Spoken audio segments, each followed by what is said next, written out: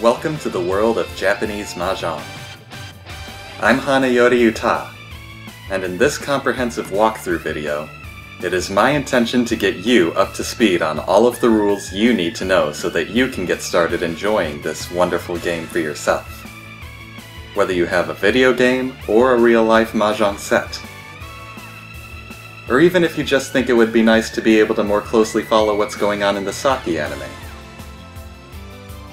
Personally, I highly recommend playing it for yourself if you have the chance. But I should tell you, I'm not here to give you a glossed over pick up and play experience. The rules are myriad and complicated, and tons of different variations on individual rules appear in just about any setting you could imagine. Learning the whole game requires considerable investments of time, concentration, and practice. But if you're willing to learn, playing the game for yourself can be a highly fun and rewarding experience. Now, I do not claim to have the final word on anything you will learn in this video. There are many different ways to translate the Japanese terms used in the game, and not even the Japanese terms themselves are consistent sometimes. Plus, I can only teach you the rules from my own research and experience, which are by no means exhaustive. Nevertheless, it's been a good experience for me, and I want to do my best to share it with all of you. So let's get to it! If you already know of a specific topic you'd like more information about, you can navigate to it using the time links in the video's description on its YouTube watch page. Otherwise, just sit back and take it all in.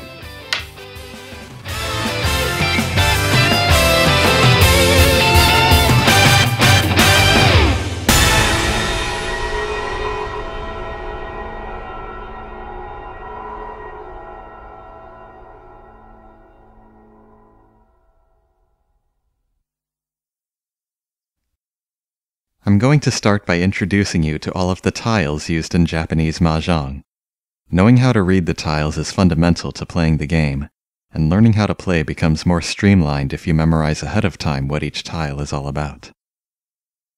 There are 136 tiles in a standard Japanese Mahjong set, four each of 34 different kinds of tiles. The tiles come in two basic categories number tiles and honor tiles and both of those categories are further subdivided into a variety of suits. A number tile displays a pattern on its face that represents a number between 1 and 9. They are organized into three suits based on the distinct style of pattern used. There are nine tiles in each suit that follow a sequence from 1 to 9, for a total of 27 kinds of number tiles.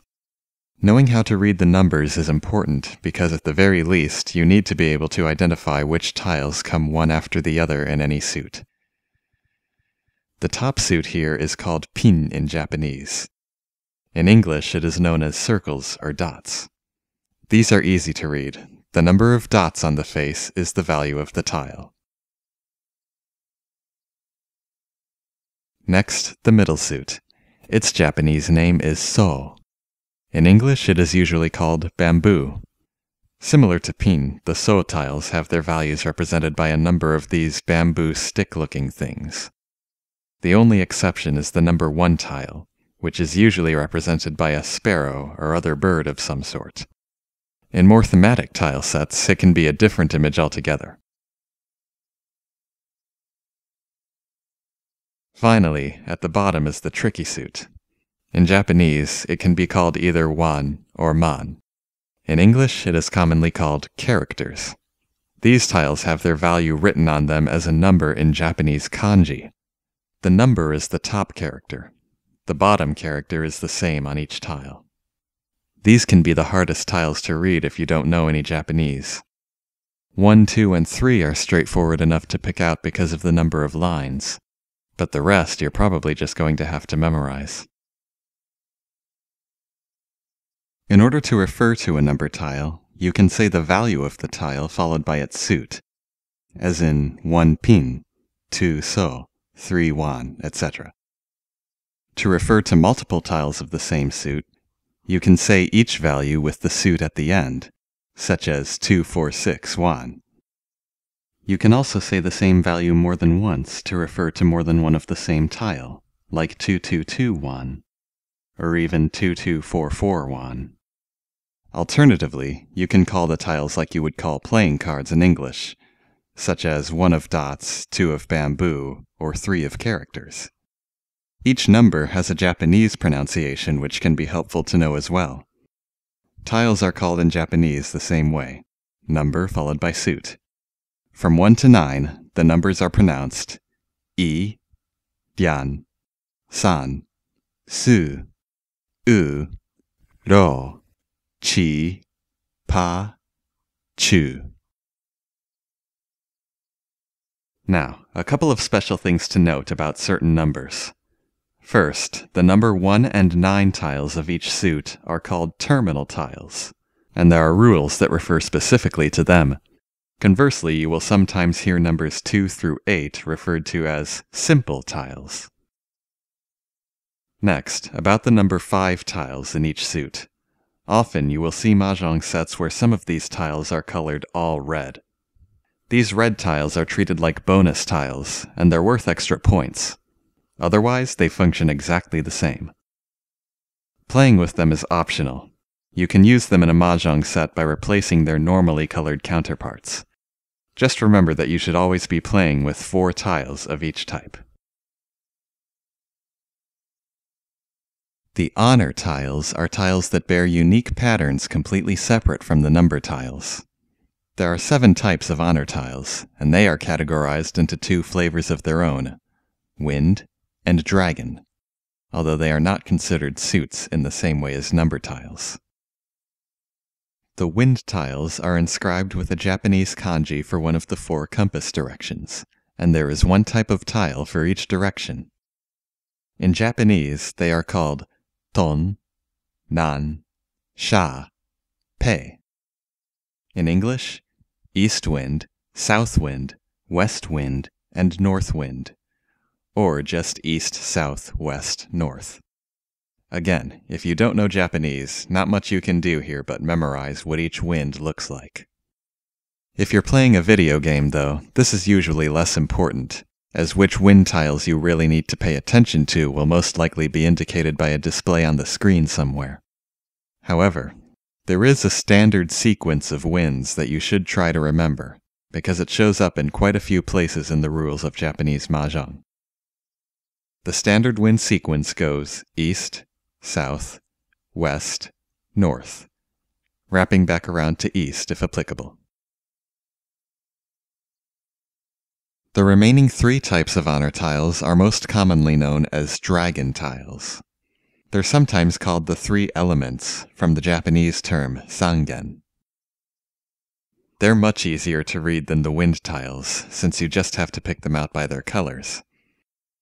The white dragon is just a blank white tile, although sometimes you may see a depiction of it with a border around the edge like this. It is called haku in Japanese. The green dragon has a complex looking kanji on it like this. Its Japanese name is Hatsu. Finally, the red dragon is called Chun, and it has a simpler kanji that looks like this.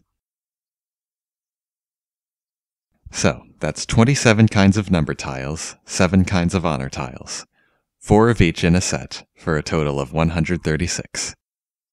Once you know all of the tiles, it's time to start learning the actual rules of Japanese Mahjong. I'm going to quickly go over the basic flow of a game of Mahjong.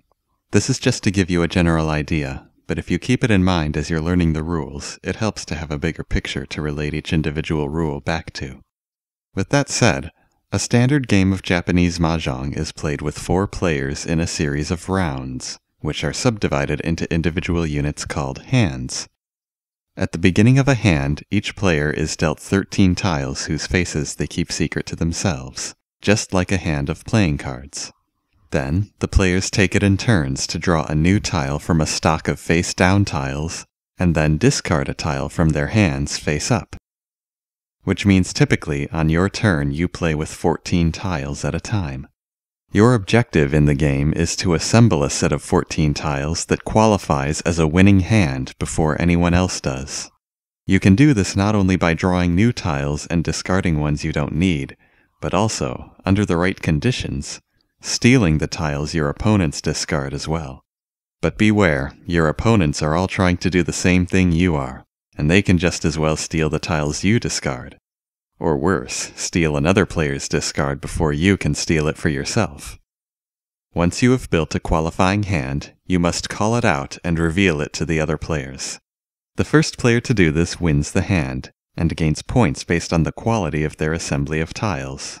While depending on the circumstances of the win, one or more opposing players will lose points. Afterwards, the tiles are shuffled and the process repeats for the next hand. This continues until a predetermined number of rounds have been played, or possibly until a player has lost too many points.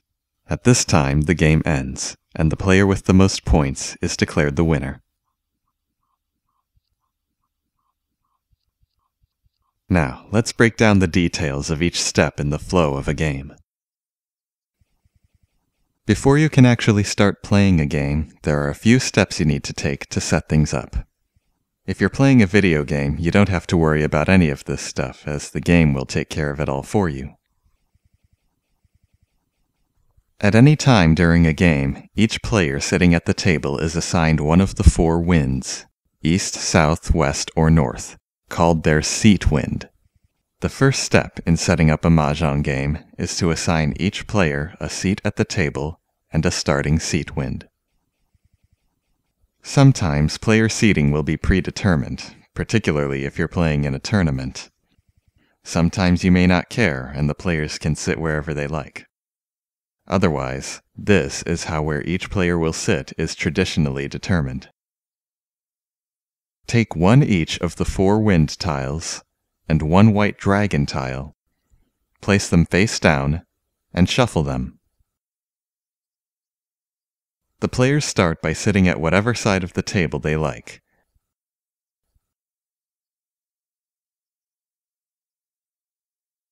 And then each one draws one of the tiles.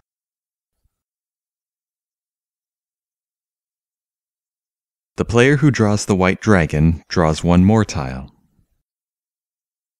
If the white dragon is left behind as the remaining tile, it goes to the last player who drew.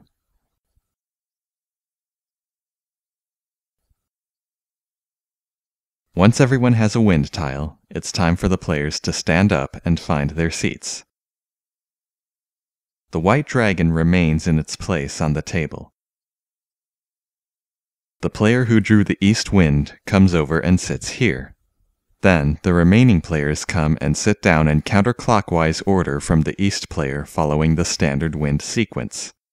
South sits to the east player's right, west sits across from east, and north sits to east's left.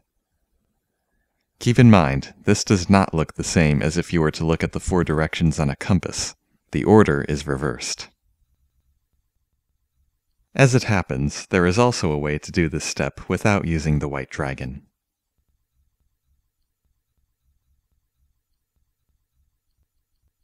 Instead of the east player moving to the white dragon spot, east remains in place or just picks whichever seat she likes, and the other players file in from her the same way, counterclockwise, south, west, north.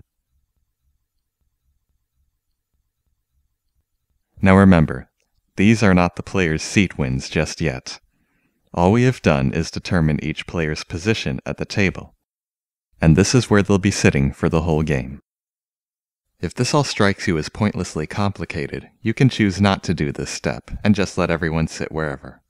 But you should at least have everyone draw a wind tile to facilitate the next step. Once all the players are in their seats, each player needs to be assigned a starting seat wind. To do this, the player who drew the east wind tile during the previous step rolls two dice. Whatever number comes up, she counts that many players counterclockwise around the table, starting with herself. One, two, three, four, five, six. Next, the player this count lands on will do the same thing again, roll the dice and count counterclockwise around the table, starting with himself. One, two, three, four, five, six, seven, eight, nine, ten, eleven. Now, this player is assigned East as her starting seat wind. The remaining seat winds are assigned counterclockwise from east in the standard wind sequence south, west, north. Again, in the opposite order from the arrangement on a compass. Now, the player who has been assigned the east wind, or the player who is sitting east, as it is also called, has an additional designation. In Japanese, she is called the Oya, which means parent. In English, this is usually translated as dealer. So what you need to do now is find this label-looking thing in your mahjong set and place it on the table to the right of the dealer, with the side that has the east kanji on it facing up. This is the dealer indicator, and its location on the table lets all the players know which player started the game as the dealer. There is essentially any number of ways to distribute points to all the players at the start of a game, especially in video games where it all depends on the manner of challenge being presented to the player. But if you're just learning how to play, a good way to start is with a standard set of scoring rules, where each player starts with the same amount of points, an amount somewhere between 20,000 and 30,000. Most commonly, the starting amount is 25,000 points for each player. If you have a mahjong set that comes with point sticks like these, you can use them to keep track of the score. Otherwise, pencil and paper will do just fine. Let me give you a closer look at the point sticks. In Japanese, they are called tenbo. They function in a similar manner to poker chips. Each stick has a pattern of dots on the side that tells you how many points that stick is worth. Different mahjong sets may have different color schemes for their point sticks, but a stick's value can always be identified by the pattern of dots on it. The sticks with eight little dots in two rows like this are worth 100 points. Sticks that have just one big dot like this are worth 1000 points. These sticks with five dots arranged kind of like the number five on a die are worth 5,000 points. And last up are the sticks with a more complex pattern using more dots than any other stick. These are worth 10,000 points. Distributing these point sticks to players at the start of a game is rather like setting up the money in a game of Monopoly or some such. To give each player 25,000 points, they each get one 10,000 point stick, two 5,000 point sticks, four 1,000 point sticks, and 10 100 point sticks. Also, like Monopoly money, these sticks will change hands as the game is played, with winning players receiving points from losing players as payment. What distinguishes them from poker chips is that there is very little actual betting involved. For the most part, a winner's payment is the result of a mathematical calculation based on the contents of the winning mahjong hand that was created. You'll hear more about that later.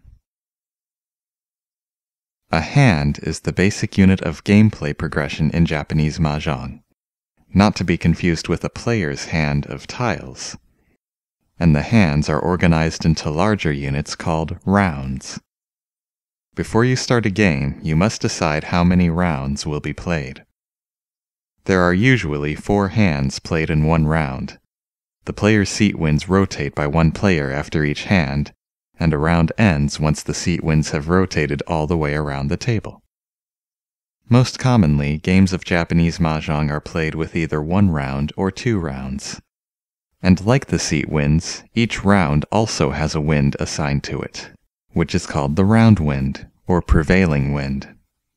The round wind always starts with east in the first round, making it called the east round. Subsequent rounds follow the standard wind sequence, proceeding to the south round, west round, north round, and if necessary, back to the east round again. The face-up side of the dealer indicator tells you what the prevailing wind is for the current round. It only has East and South printed on it because most Japanese games are normally played only up to the end of the South round. This usually ends up being a pretty good length for a game, but you may choose to play however many rounds you like. Now you're ready to start playing the game. The preceding four steps only need to be done once at the beginning of the game but the following steps will need to occur at the beginning of every hand played. To prepare the tiles for a hand, they must all be placed face down on the table and shuffled vigorously. All four players should participate here.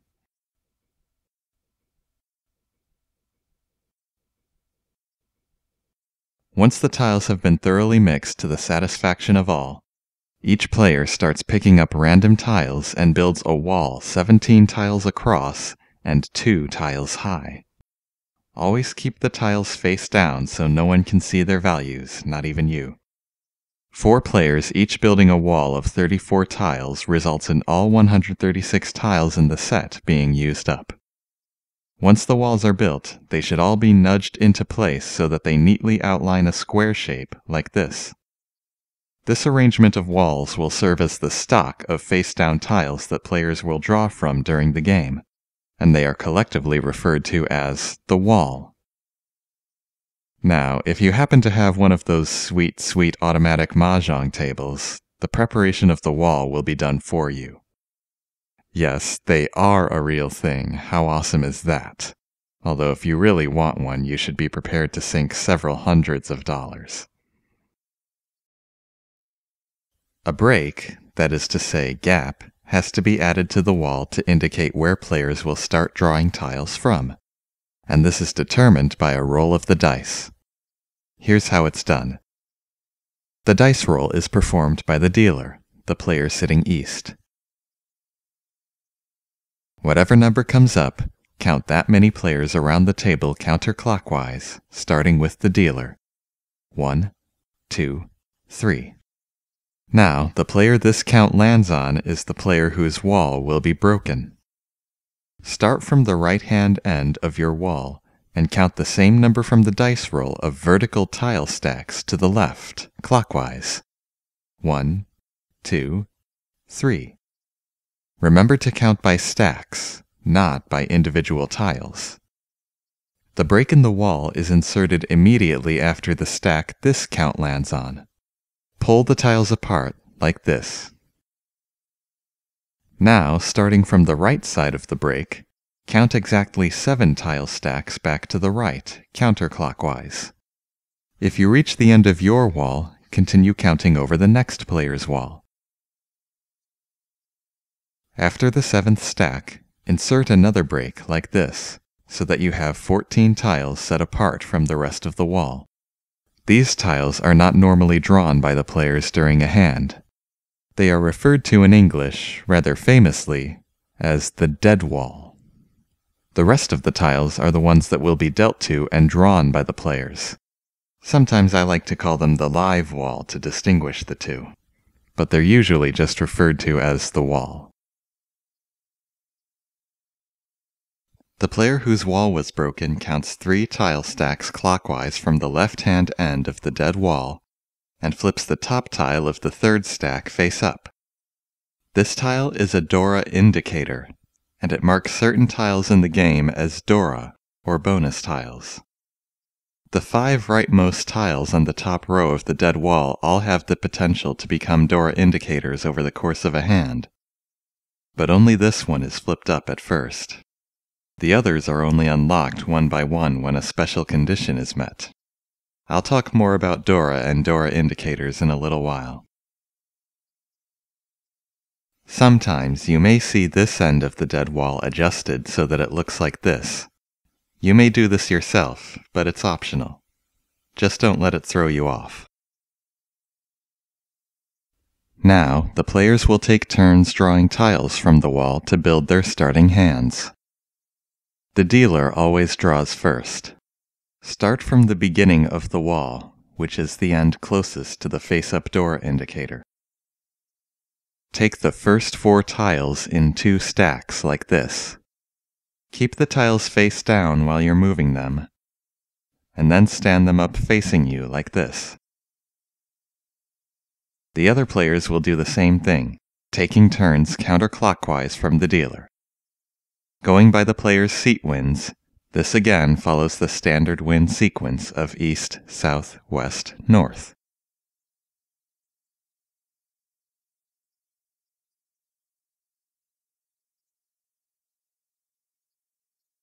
Once you get back to the dealer, repeat this process two more times, so that everyone draws 12 tiles.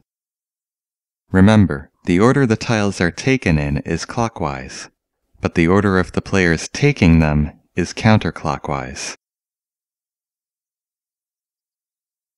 Finally, everyone takes one more tile out of one more set of four. The dealer takes the outside top tile, the south seat takes the bottom outside tile, west seat takes the top inside tile, and north takes the bottom inside tile. Now the hand is ready to be played. Each player has been dealt 13 tiles, and there are 14 tiles set aside in the dead wall. That leaves 70 tiles left in the wall for the players to draw. If you prefer, at the part where everyone is drawing their 13th tiles, the dealer can take both the top outside tile and this one, two tiles over to the right. The other players take their tiles as normal. This represents the dealer taking the 13th tile for their starting hand and making their first draw of the game simultaneously. In this case, you'd have a starting hand of 14 tiles and do not draw on the first turn. Just a bit of a time-saving gesture. A hand of Mahjong is played in turns. The turn order starts with the dealer and proceeds counterclockwise around the table, wrapping back to the dealer again. On each turn, the turn player draws the next tile from the wall. One stack of the wall is used at a time, so one player will take the top tile of the stack, then the next player takes the bottom tile of the stack and the player after that moves on to the top of the next stack, and so on. After drawing, the turn player chooses one tile to discard. It could be a tile from your hand or the tile you just drew. While you are deciding which tile to discard, it is a common practice to place the tile you just drew horizontally on top of your hand. When you discard a tile, place it face up on the table in front of you, on the inside of the wall. This area is called your discard pile, and as you discard on subsequent turns, you want to fill it in with a pattern of three rows with six tiles each. Fill in one row at a time from left to right, and add subsequent rows going from top to bottom.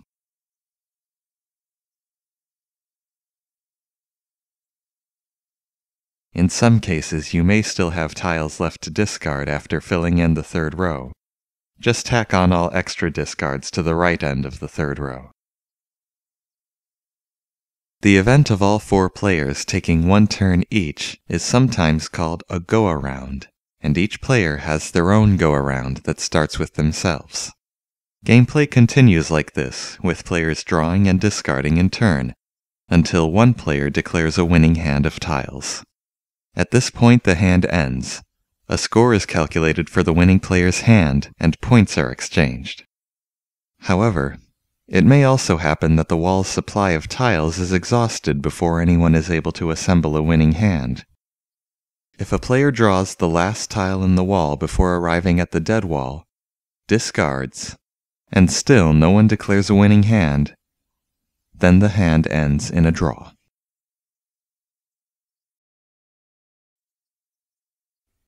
In Mahjong, your goal is to assemble a collection of tiles that qualifies as a winning hand. To accomplish this, there are two criteria that your hand must meet. First, it must contain a qualifying combination of tiles. Although there are exceptions, a qualifying combination nominally consists of four melds of three tiles and one pair of tiles, 14 tiles in all. A meld is a group of three tiles that can be used together in ways I'll describe next. and a pair is just two copies of the same kind of tile. No single tile can count for more than one meld or a meld and a pair at the same time. They must all be separate from one another. The second criterion of a winning hand is that it must satisfy at least one yaku. A yaku is a rule that describes a general pattern appearing in your combination of tiles, or a specific circumstance under which you finished building your hand. Each yaku has a value associated with it called a Han value, and it's these Han values that are primarily responsible for determining how many points a winning hand is worth. Every yaku your hand qualifies for contributes its Han value to your total, but you must always have at least one. There are a great many different yaku, and learning them all can be a daunting task. But fortunately, you don't need to learn them all right away. I'll discuss at length what all of the yaku are and how your hand can qualify for them later in the video. For now, just focus on memorizing these basic principles of building a complete hand. There are two types of melds you can have in your hand based on which one of two criteria it satisfies. The first type of meld is called a set, which is three tiles of the exact same type. Any type of tile at all can qualify for a set, as long as you have three copies of it. Both the suits of the tiles and their values must be exactly the same. A set of three tiles is referred to specifically as a triplet, or three of a kind. If you happen to have all four copies of a tile in your hand, it is possible to combine them into a quad, or four of a kind, which also counts as a set. However, there are specific rules for doing so, which I'll get to in a bit. The other type of meld you can have is called a sequence, also known as a run or a straight. This is any group of number tiles in the same suit whose values are three consecutive numbers. 1, 2, 3 pin, 6, 7, 8 sou, and 3, 4, 5 wan are all examples of possible sequences. Note that you cannot mix and match consecutive number tiles from different suits. All the tiles in a sequence must be of the same suit.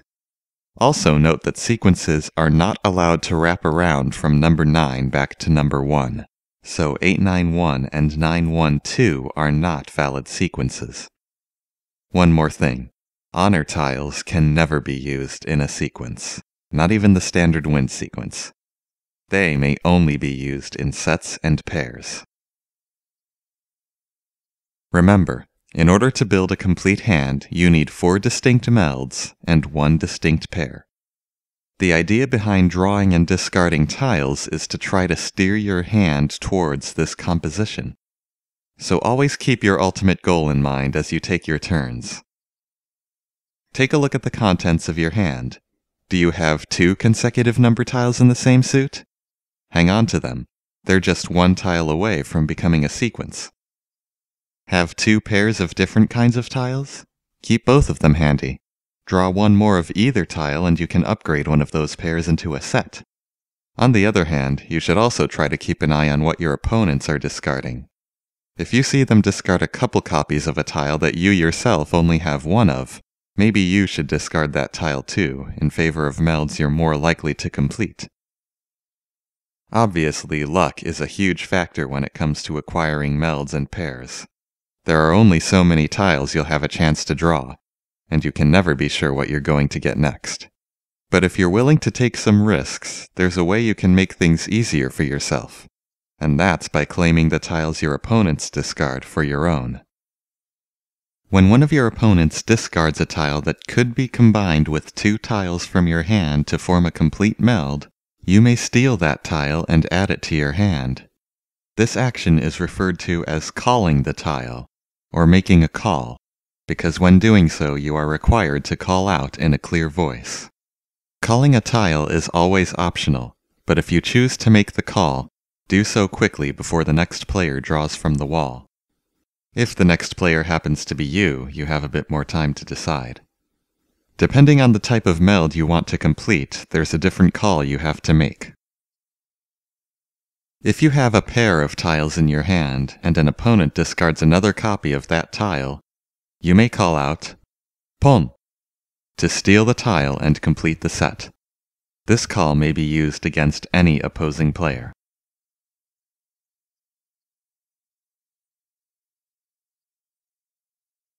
If your hand has two out of three number tiles of any sequence, and the opponent to your left discards the third number, you may call out Chi to steal the tile and complete the sequence.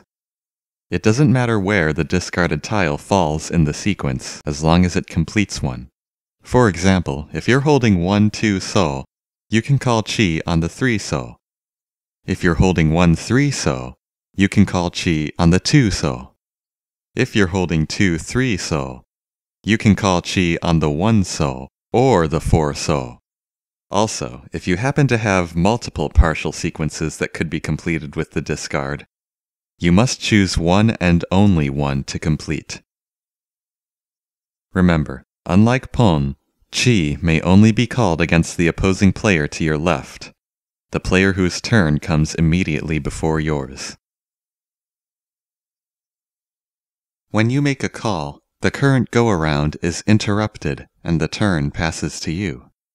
Reveal to the other players the tiles whose meld you are completing by laying them face up on the table and place them off to the right side of your hand, vertically. Then, take the tile you called from your opponent's discard pile and lay it face up with the other tiles horizontally. If you called the tile from the player to your left, place it to the left of the other tiles. If you called from the player to your right, place it to the right. If you called from the player across from you, place it in the middle. This is important to do because called tiles are still considered to be part of the discard pile of the player they were called from, and this arrangement lets the players know who discarded each called tile. You are allowed to make multiple calls in the same hand if possible. Subsequent melds may be placed immediately to the left of the previous one, or immediately above it, whichever you prefer, although you should stick to one direction or the other. The melds that you set aside here after calling an opponent's discard are called open melds. After you've set aside your open meld, it is still your turn. You don't draw a new tile from the wall, though, because you just got a new tile from your call. Choose a tile to discard, and then a new go-around will begin starting with the player to your right. However, Keep in mind that an open meld becomes a permanent fixed part of your hand once you've created it, and its tiles may no longer be discarded or rearranged into other melds. The remaining tiles in your hand that are not part of an open meld you are still free to use however you like. To distinguish them, they are referred to as closed or concealed tiles. Similarly, any hand that contains no open melds is referred to as a closed hand, or concealed hand. A hand that has at least one open meld is called an open hand, and calling an opponent's discard for the first time is also known as opening your hand. Remember this bit of terminology because it'll be important. A quad is a special kind of set that contains four copies of a tile instead of three. In order for a quad to be used as part of a hand, the tiles must always be declared as such with a call and set aside, and there are additional steps that need to be taken afterwards. There are three different circumstances under which you may declare a quad, but you must always start by calling out kan and you always end by following the additional steps which I'll describe in a minute. If you have all four copies of one type of tile concealed in your hand on your turn, you may call Kan to declare them as a closed quad. There are a few ways you can arrange the tiles in a closed quad. Start by lining up all the tiles side by side and laying them face up on the table. Then, you can either turn the two outer tiles or the two middle tiles face down.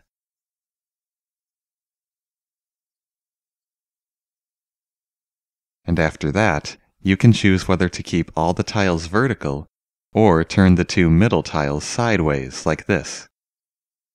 Whichever way you do it is up to you. Again though, try to keep to one way or another to avoid confusion. Either way, set the closed quad tiles aside to your right in the same place where you would put an open meld. But this is important to note.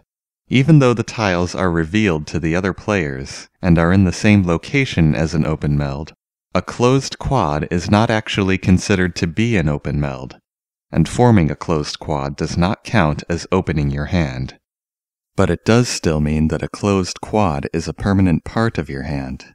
Its tiles can't be discarded or rearranged.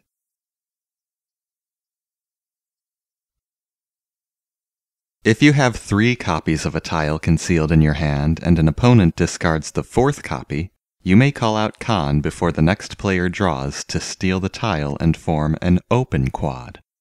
Unlike a closed quad, this is considered an open meld, and the procedure for creating one is the same as for any other open meld. Reveal the three tiles from your hand and set them aside vertically. Then place the called tile with them horizontally. If the player to your left discarded the tile, place it at the left end. If it was the player to your right, place it on the right end. If it was the player across from you, again you have a choice. You may place the discard somewhere between the outer tiles, or you may place it above all three tiles like this. Also unlike a closed quad, all the tiles in an open quad are kept face up.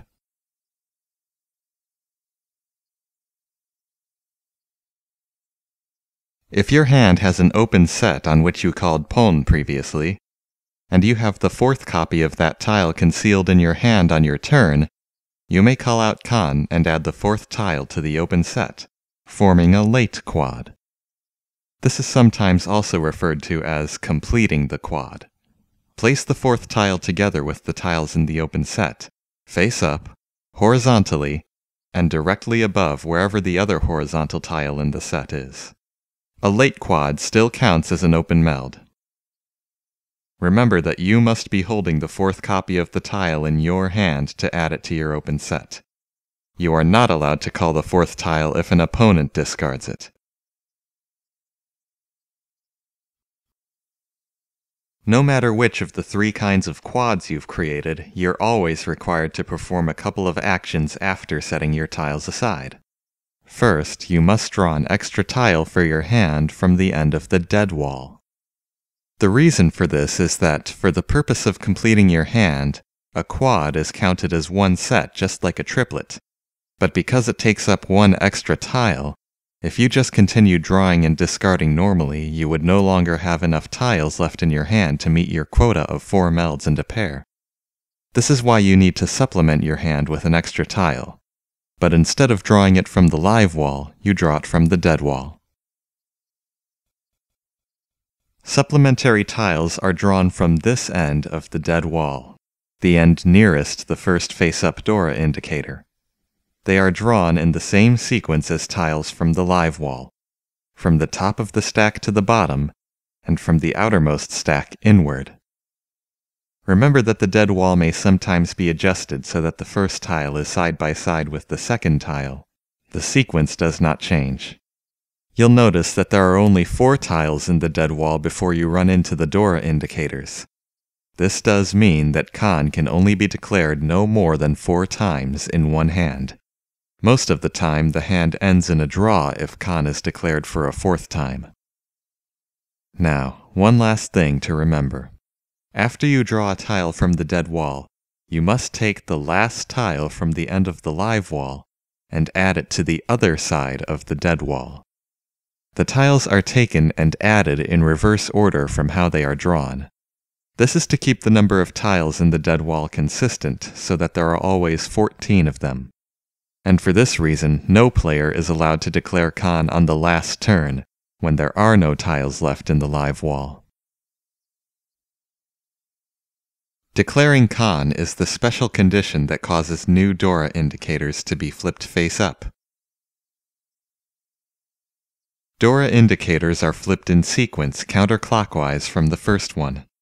One indicator is flipped face up per quad. However, after you form a quad and draw from the dead wall, there are actually two things you still have to do. Reveal a new Dora indicator and discard a tile from your hand to end your turn. and in some rules, the order in which these two things happen is different depending on what type of quad you created when you declared Kan. If you formed a closed quad, you flip the next Dora indicator first, so that it comes into effect while it's still your turn. If you formed an open quad or a late quad, you discard first, and then flip the next Dora indicator, meaning it comes into effect after your turn has ended. Other rules let you always flip the Dora indicator first, no matter what type of quad you created. Earlier, I mentioned that there's a certain risk factor associated with choosing to open your hand with a call. The risk manifests in at least three ways. First, it limits the possibilities of what you can do with your hand. Keep in mind that the tiles in an open meld can no longer be discarded or rearranged into other melds. When you create an open meld, you are committing it to be a permanent part of the hand you're building. It's quite possible that later in the hand you'll start drawing tiles that could have made your hand worth more points if those open melds weren't present. But you're stuck with them. Second, it reveals a portion of your hand to the other players. Make too many open melds and your opponents may start to recognize the pattern you're trying to build into your hand enabling them to more effectively avoid discarding the tiles you need to complete it. Third, it can actually make it more difficult for your hand to qualify as a winning hand. Remember, a winning hand not only requires a correct composition, it also needs to satisfy at least one yaku. And there are some yaku that cannot be fulfilled at all by an open hand, including the most basic ones. If you're not careful about how you make your calls, you may find yourself stuck and unable to form a winning hand at all.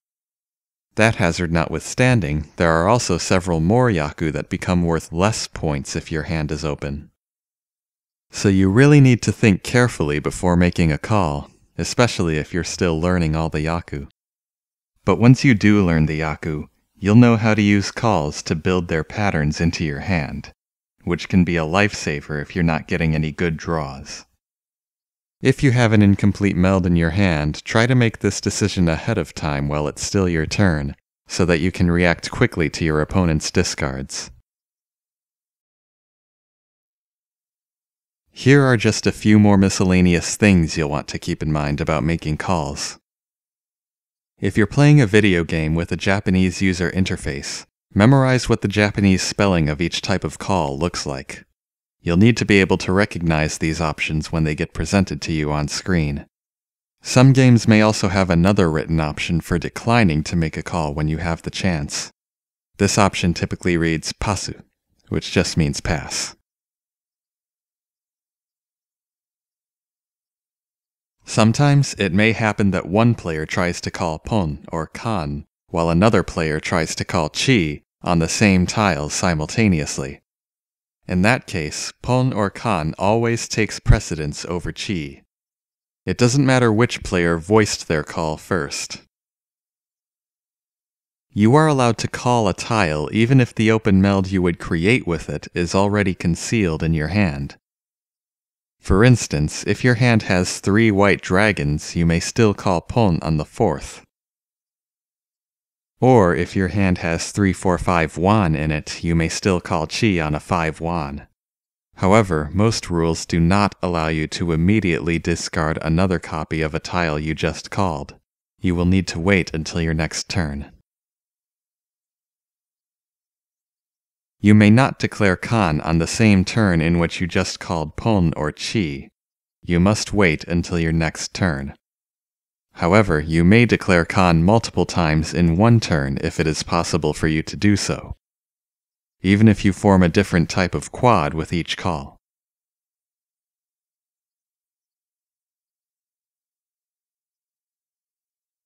You do not need to declare a closed quad or a late quad on the first turn in which you have all the necessary tiles. You may keep the tiles concealed in your hand for as long as you like, and declare Kan on any of your turns, as long as it's not a turn you started by calling Pon or Chi. Finally, if you do happen to call Pon instead of Kan on the fourth tile of a triplet you already have concealed, either intentionally or perhaps by mistake in a video game, There's no rule that says you cannot use the leftover tile to complete the quad on a later turn. You have not missed your chance.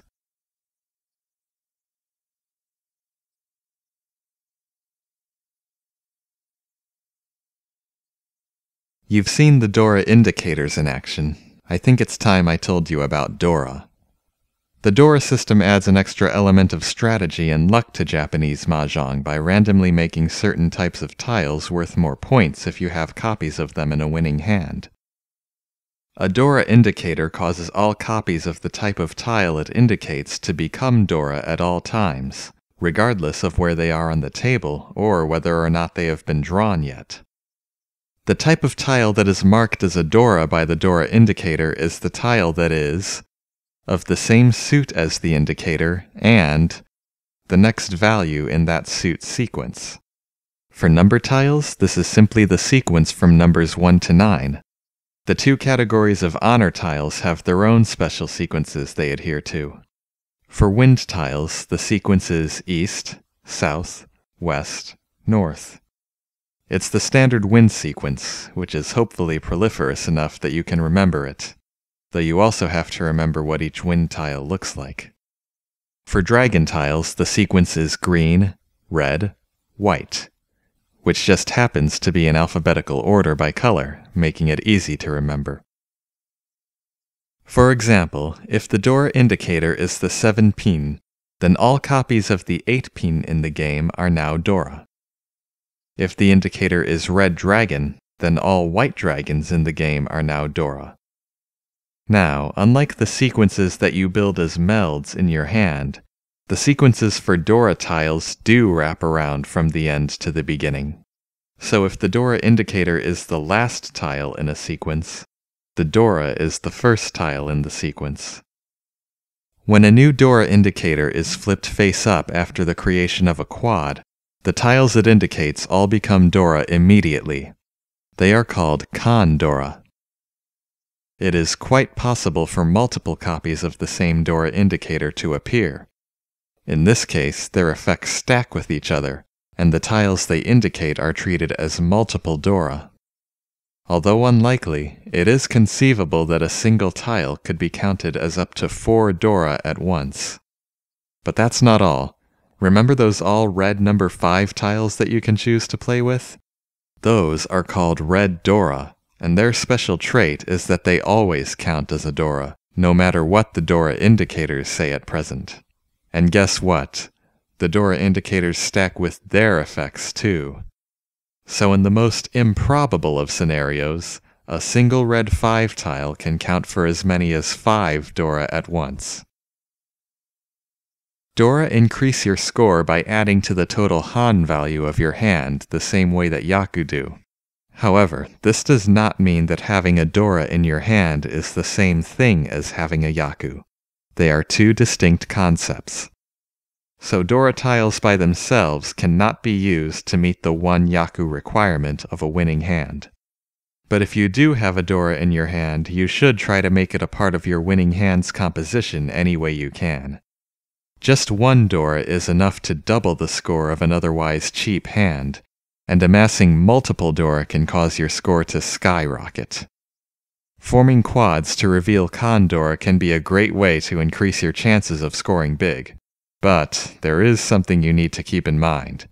All players are able to take advantage of Kan Dora, not just the player who declared Kan. And no matter how many Dora you have, they're of no use to your score if you don't win the hand. If you're particularly unlucky, your quads may end up doing little more than increasing the value of an opponent's winning hand.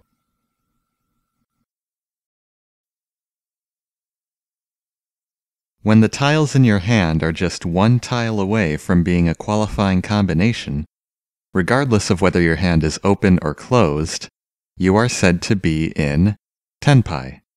The last type of tile that you need to obtain in order to finish building your hand is called your wait. You are waiting on it. There are many different kinds of waits you can have, but at the broadest level, they fall into two categories.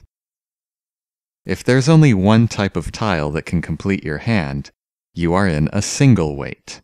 Otherwise, if there's more than one type of tile that could complete your hand, you are in a multiple wait.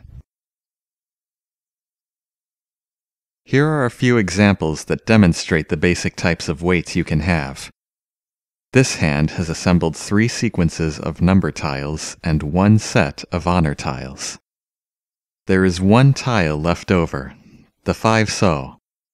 This hand is in tenpai because if one more 5 sou is drawn, the hand will have a pair to go with these four melds, and its composition will be complete. So the hand is in a single wait on the 5 sou. This type of single wait is called a pair wait. This hand has three sets of number tiles and a pair of honor tiles. The last two tiles, the 1-2 wan, are part of an incomplete sequence. The hand is in tenpai with a single wait on the 3 wan, because if that tile is drawn it can be used to complete the sequence of 1, 2, 3 wan, providing the hand with its fourth meld. If you replace the 1-2 wan with the 8-9 wan, you have the same kind of scenario. The hand is in a single wait on the 7 wan. This kind of single wait on the innermost tile of a sequence that begins or ends with a terminal tile is referred to as an edge wait. Here's the same hand again, only this time the incomplete sequence is the 3-5 wan. This hand is in Tenpai with a single wait on the 4 wan, which will complete the sequence of 3, 4, 5 wan. A single wait on the middle tile of a sequence is called a closed wait. Here's another hand that's currently in a closed wait on the 7 pin. I'm going to have it draw a 5 pin. This tile doesn't complete the hand, but it can improve the hand's chances of being completed. Notice that the same 7 pin could be used to complete the sequence of 5, 6, 7 pin. But now, drawing a 4 pin could also complete the sequence by adding it to the other side of the 5, 6. If the hand discards the 8 pin here, the hand will be in tenpai with a multiple wait on the 4 pin and the 7 pin. This kind of multiple wait for the tiles on either end of a sequence is known as a two-sided wait, or an open wait. You should always be on the lookout for opportunities to upgrade single waits into multiple waits like this, because they can dramatically improve your chances of completing your hand. Finally, this hand contains three sets of number tiles, one pair of number tiles, and one pair of honor tiles. It is in Tenpai with a multiple wait on the one pin and the white dragon, because no matter which of those two tiles is drawn, one pair will become the fourth set, and the other will remain as the pair for the hand. This type of multiple wait can be called a double set wait, or just a set wait. Those are the five basic types of waits you can have. However, it's important to note that in some rules, whether or not you are in Tenpai is also dependent upon whether you could conceivably draw the tiles you are waiting on.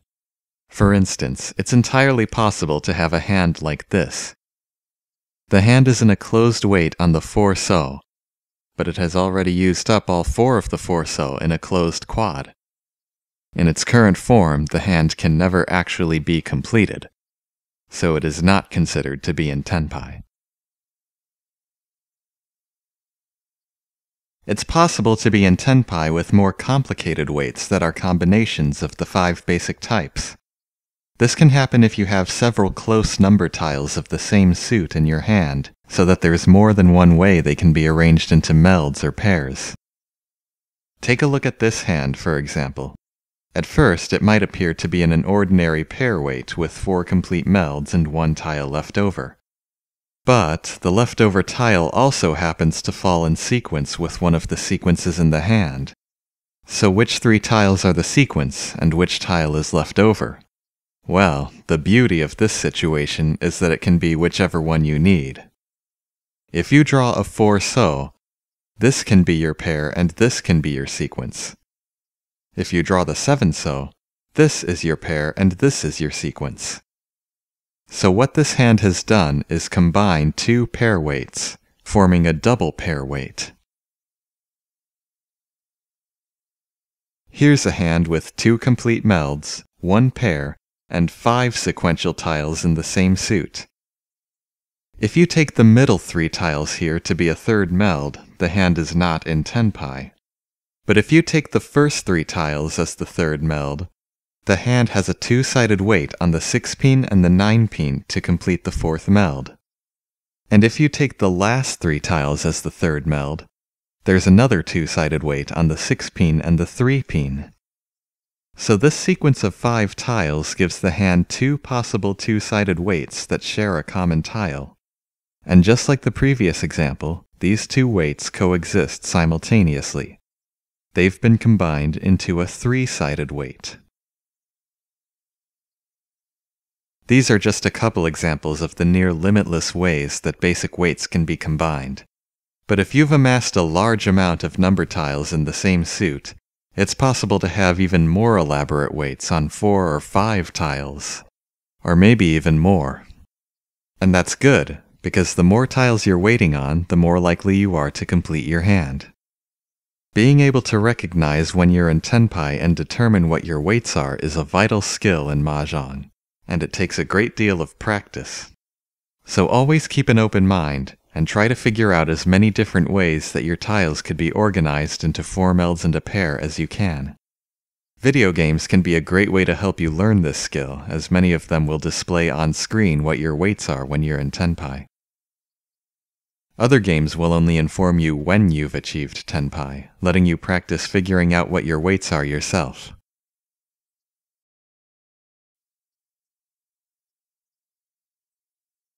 When you finally obtain the last tile you need to complete a qualifying hand, you may declare a win by calling out and revealing your hand. This is referred to as going out, or alternatively, completing your hand. Remember that a qualifying hand must meet the requirements of at least one yaku. If your hand does not have any yaku, you will not be allowed to go out. You can either obtain the winning tile yourself, or you may obtain it from an opponent, and there's a different call you have to make depending on which is the case.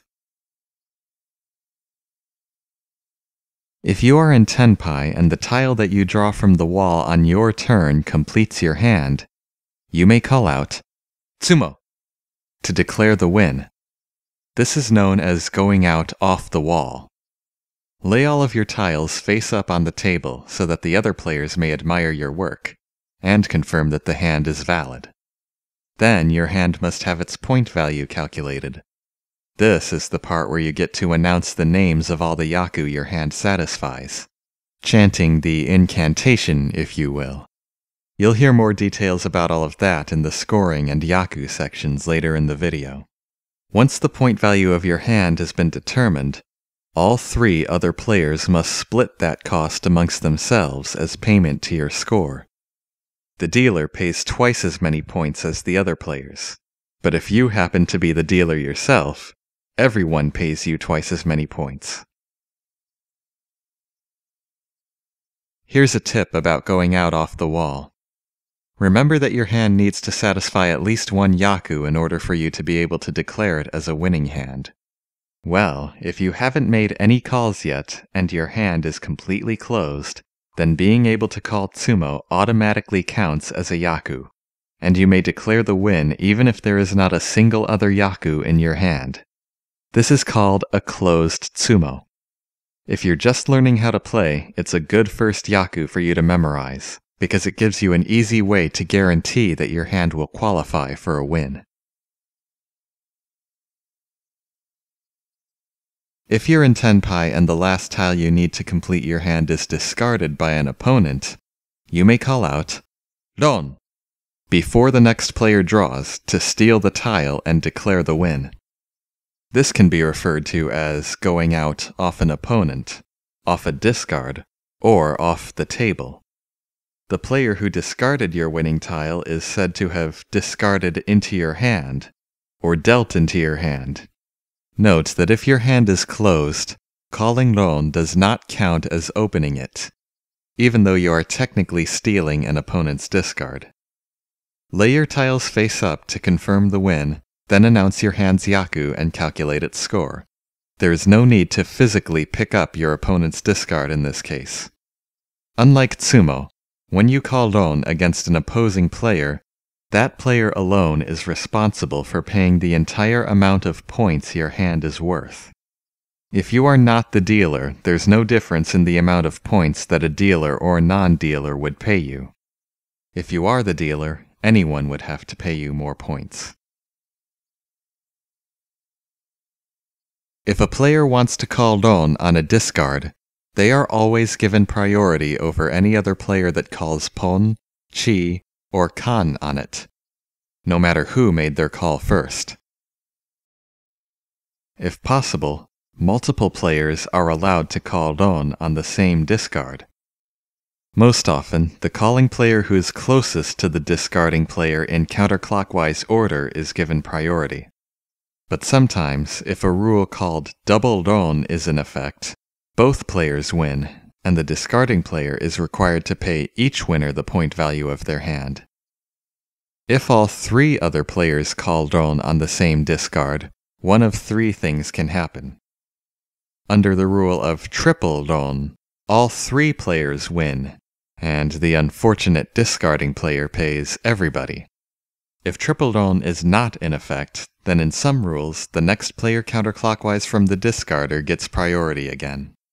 In other rules, no winner can be determined, and the hand ends in a draw. No matter what the rules, though, in all cases of multiple Ron, all calling players are required to reveal their hands to confirm that their calls were valid. Unlike a closed Tsumo, calling Ron by itself does not normally give your hand an automatic yaku, except under very specific circumstances. So if your hand does not currently meet any Yaku on its own, and if the discarded tile would not cause your hand to start qualifying for a Yaku by virtue of composition, you are not allowed to call Ron against an opponent who discards your wait. However, there is another way you can guarantee a Yaku for your hand whether you go out by Tsumo or Ron, and that's by utilizing the reach system.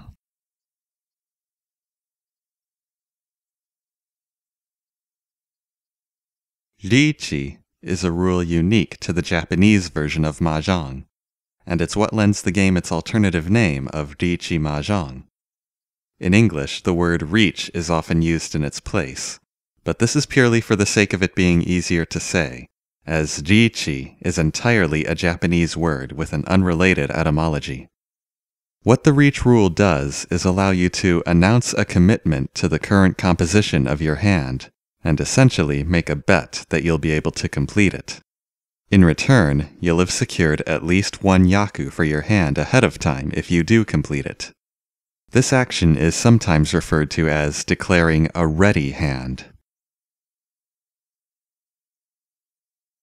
There are a few requirements you must meet before you may ready your hand. You must be in Tenpai, you must have at least 1000 points, and your hand must be completely closed with no open melds. If you satisfy all three of these requirements on your turn, you may declare a ready hand by calling out Riichi or Reach. Choose a tile to discard that leaves your hand in Tenpai, and place it sideways in the next spot in your discard pile. Then, a bet of 1000 points is subtracted from your score. These points are now considered to be on the table. If you're playing with point sticks, place a 1000 point stick above your discard pile and parallel with it to represent this. The next player to win a hand claims all of the points on the table for their score in addition to the point value of their hand. So if you win the hand after declaring reach, you'll get your deposit back. If another player wins, your deposit is lost to them. Once you declare reach, you are no longer allowed to call tiles for open melds or change your hand's composition in any way. You have committed your hand to its current waits. Also, after declaring reach, you must take the very first opportunity to go out that arises. As soon as you draw one of your waits, you must call Tsumo. As soon as an opponent discards one of your waits, you must call Ron, whichever comes first. You may choose to pass up a chance to go out during reach, but in doing so you are putting yourself in a disadvantageous state called furiten, which I'll describe in the next section. What isn't a choice, however, is that any tiles you draw on subsequent turns that do not immediately complete your hand, you must discard. This obligation prevents you from holding on to new tiles that could have been used to increase the value of your hand, or to give you a more likely wait. So you need to make sure your hand is really, really ready before you commit to a reach. Furthermore, there's an additional risk in that if you have the misfortune of drawing not your wait but one of your opponent's waits during reach, you have no choice but to discard it, with no way to avoid dealing into their hand. There is an added bonus in store for a player who goes out after declaring reach. That player may take the bottom tile out from underneath each face-up Dora indicator in the dead wall, including Kan Dora indicators, and flip it face up to serve as an additional Dora indicator. If you have any copies of the tile it indicates in your winning hand, they all become Dora as well before your hand score is calculated. They are called reverse Dora or Ura Dora which literally means the Dora on the reverse side. And the nice thing about this rule is, only a player who has declared reach is allowed to take advantage of the Uradora. So if you declare reach and another player who didn't declare reach wins the hand instead, they do not get to flip the Uradora indicators. They are solely your bonus for overcoming the risks associated with reach.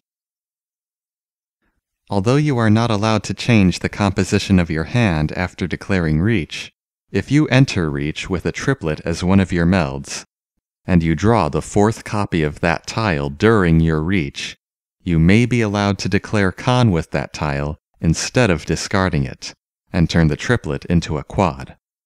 The procedure is identical to the formation of any other closed quad.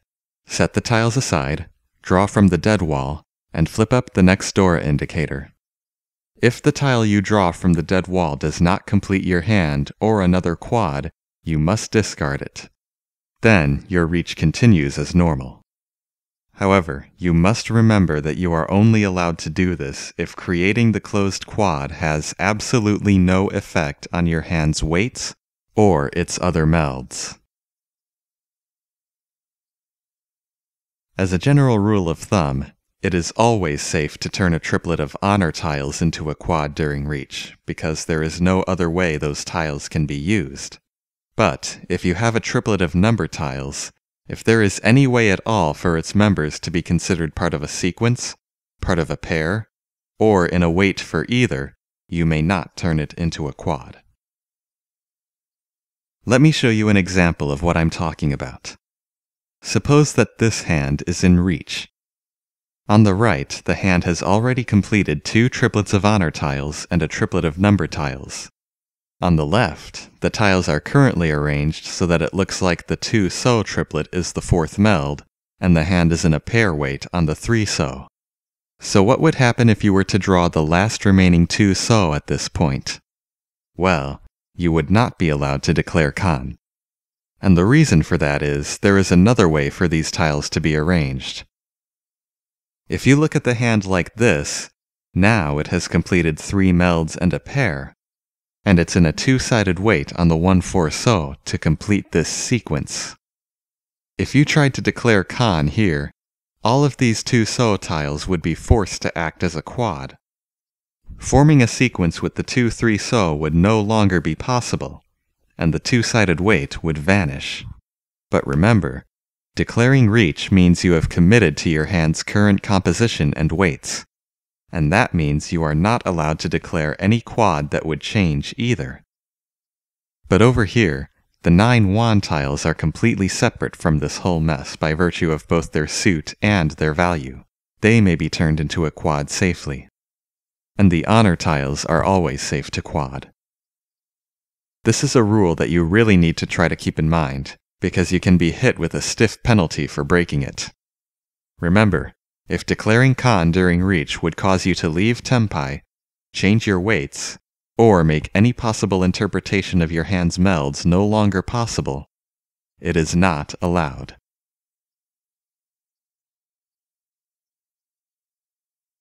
You are not required to declare reach on the first turn you achieve Tenpai. You may hold off for as long as you like if you want to try further improving your hand with a few more draws first. Remember that you are not allowed to change the contents of your hand once you enter reach, so do your best to make sure you are satisfied with your hand before committing to it. It's possible for an opponent to call your first discard immediately after you declare reach. If Ron is called on it, you lose the hand, obviously, but you do not lose your bet of a thousand points, since your declaration of reach was interrupted. If your discard is stolen for an open meld, it is not considered an interruption of your reach, but now you must place the next tile you discard sideways instead. Depending on how insistent your opponents are, you may need to keep doing this over multiple turns until you finally get a sideways discard to stay in your discard pile. But once you do, that's it. You don't need to discard sideways anymore for the rest of the hand. If you've declared reach and the current hand ends without any winner being declared, your 1000 point bet stays on the table. During the next hand, you'll have to pay another 1000 points if you want to declare reach again. Remember that whenever there are any points on the table, they will all be claimed by the next player to win a hand. When there are three tiles or less remaining in the wall, no player is allowed to begin a reach any longer. There must be enough tiles left in the wall to ensure that a player declaring reach would have at least one more draw in an uninterrupted go-around. Finally, memorize again what the calls for reach, tsumo, and ron look like in Japanese, so you can recognize their options in video games. Some games may not specify whether you can call Tsumo or Ron. Instead, they will present you with a generic option, Agari, which simply means win. Incidentally, when you're playing a video game with background music, very often the music will change into something more intense the first time a player declares reach. Furiten is a status that you can enter under certain circumstances. It's sometimes translated as sacred discard, and it's a tricky rule that can cause you lots of problems if you're not careful. When you are in Furiten, you are not allowed to call Ron on any opponent's discards. You may only go out off the wall on your turn. The rule of Furiten basically exists as a measure to prevent you from unfairly targeting a specific player to call Ron against. If you keep that in mind, it can help you remember the three situations that can put you in Furiten. Anytime you're in Tenpai, whether you've declared reach or not, and there is a tile in your discard pile that could have been used to complete your hand, you are in Furiten. This means, for example, that if you draw one of your waits while in Tenpai, you cannot discard it in the hopes of later going out off an opponent to make them suffer a heavier blow to their score. If you do discard it, you are only allowed to go out if you draw another one of your waits yourself again. This is what Furiten is all about. But unfortunately, the scope of the rule ends up being much larger in practice because it applies to your entire discard pile. And don't forget, your entire discard pile includes tiles that your opponents have called from you for open melds. It's possible that the tile you discard on your very first turn, not knowing you will ever need it, will just happen to become one of your waits when you achieve Tenpai 15 turns later. It makes no difference, you are still in Furiten. In order to get out of Furiten, you must replace some of the contents of your hand so that your waits no longer include any of the tiles in your discard pile. Of course, if you've declared reach, this is no longer possible, and you'll have to remain in Furiten for the rest of the hand. If you've declared reach and you pass up your first chance to call Ron against an opponent, you are now in Furiten for the rest of the hand. This prevents you from trying to call Ron against a specific opponent during reach.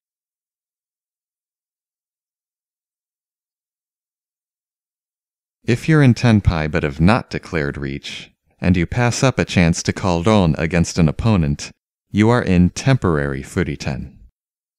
This Furiten status wears off on your next turn. It also wears off immediately if any player calls an open meld. This means that even if you haven't declared reach, there's still no fair skipping to another player's discard within the same go-around. The Furiten rule makes it extremely important to know what all of your waits are when you're in Tenpai. If you have a complex hand and you discard a tile that you don't recognize as one of your waits, you can put yourself in Furiten without even realizing it. Then later, if you go out off an opponent's discard that you do recognize as your wait, your opponents can still accuse you of violating Furiten. In addition to your win becoming invalid, violating Furiten also levies a penalty upon your score. Most video games will inform you when you're in Furiten, and not actually let you call Ron if you attempt to. But it can still come as an unpleasant surprise if you're not paying attention. Now, that being said, there is a way you can use knowledge of the Furiten rule to your advantage. If you let your opponents call Ron on your discards too often, you will see your supply of points very quickly diminished to nothing. But your opponents are all bound by the rule of Furiten just like you are. So you can help protect your score if you concentrate on the contents of their discard piles. If you're worried that one of your opponents might be close to completing their hand, you can be certain that they won't be able to call Ron against you if you discard a tile that's already in their own discard pile. This is the primary element of defensive play. If it doesn't look like your own hand is going to come together, it's often a very good idea to forget about building your hand and instead focus on discarding tiles your opponents can't call. This is especially helpful if an opponent has declared reach, in which case you can watch not only their own discard pile, but also the tiles your other opponents discard safely from that point on. Of course, defending yourself from more than one opponent at a time in this manner can be problematic, to say the least. If you have to choose, it might be best to defend against the player in the lead, or at least against one you particularly don't like. After a hand has been completed and points have been exchanged, the game proceeds to the next hand. At this time, all of the player's seat wind assignments rotate one seat counterclockwise. The players do not physically move, only their seat winds move. The player who was sitting south becomes the dealer. The player who is sitting west is now south, and so on. There are circumstances which can temporarily halt the rotation of the seat winds, which I'll describe shortly. The hands in a round are counted by number, starting with hand 1. The hand number increases by 1 each time the seat winds rotate. It takes a minimum of four hands to be played in order for the seat winds to rotate all the way around the table, letting each player have the dealer seat at least once. After hand 4 has been played, the current round is over. If there's another round to be played, the hand number resets back to hand 1, and the round wind rotates. The game always starts in the east round, and for subsequent rounds the round wind rotates to south, west, north, and then back to east again, in the standard wind sequence. The dealer indicator should always indicate what the current round wind is, so flip it over to signal the start of the south round if you're playing one. Most Japanese mahjong sets do not have a dealer indicator for the west and north rounds.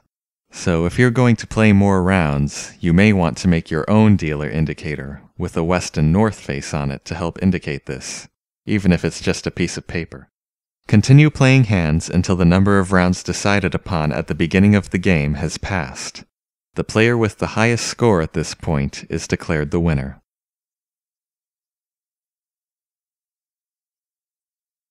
In some rules, if a player loses enough points that their score becomes zero or negative after a hand, the game ends immediately without the remaining hands needing to be played, and the player with the highest score wins. Other rules may allow the game to continue as normal with the player in a negative balance of points, meaning it is still possible for that player to make a comeback by the end of the game.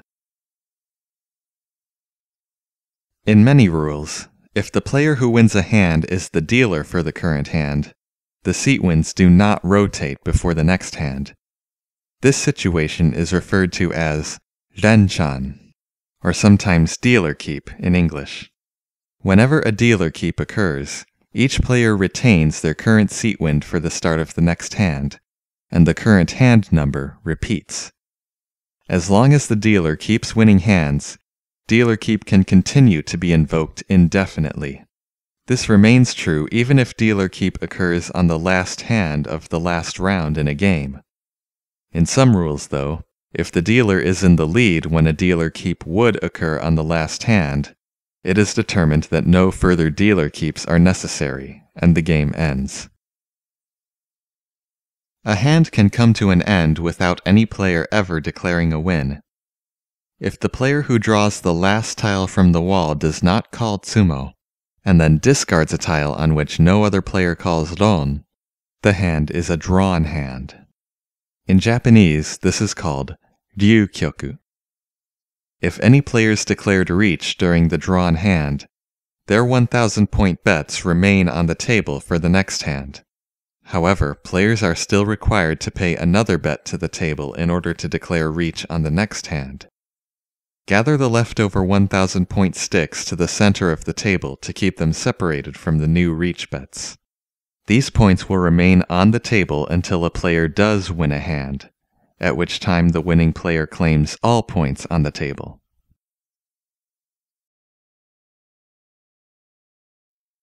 When a drawn hand occurs, the players that did not achieve tenpai during the hand are required to pay a fee to the players that did.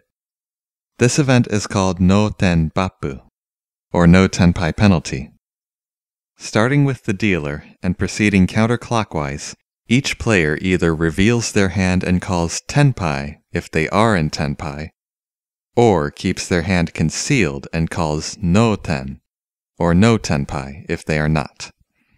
Players that declared reach during the hand are required to reveal their hands to confirm that their reach was valid. Players that are in tenpai but did not reach may call tenpai, but they may also choose to call no ten if they wish. However, video games will usually call Tenpai for you automatically. Once all the players have made their calls, the players that called no ten evenly split a 3000 point deduction from their scores, and the players that called Tenpai evenly split a payment of the same amount to their scores. This chart lays out all the possible combinations of costs and payments. If all four players make the same call, no points are exchanged. If the dealer calls tenpai during the no tenpai penalty, then a dealer keep takes place just as if the dealer had won the hand. There's no difference in the procedure following either type of dealer keep.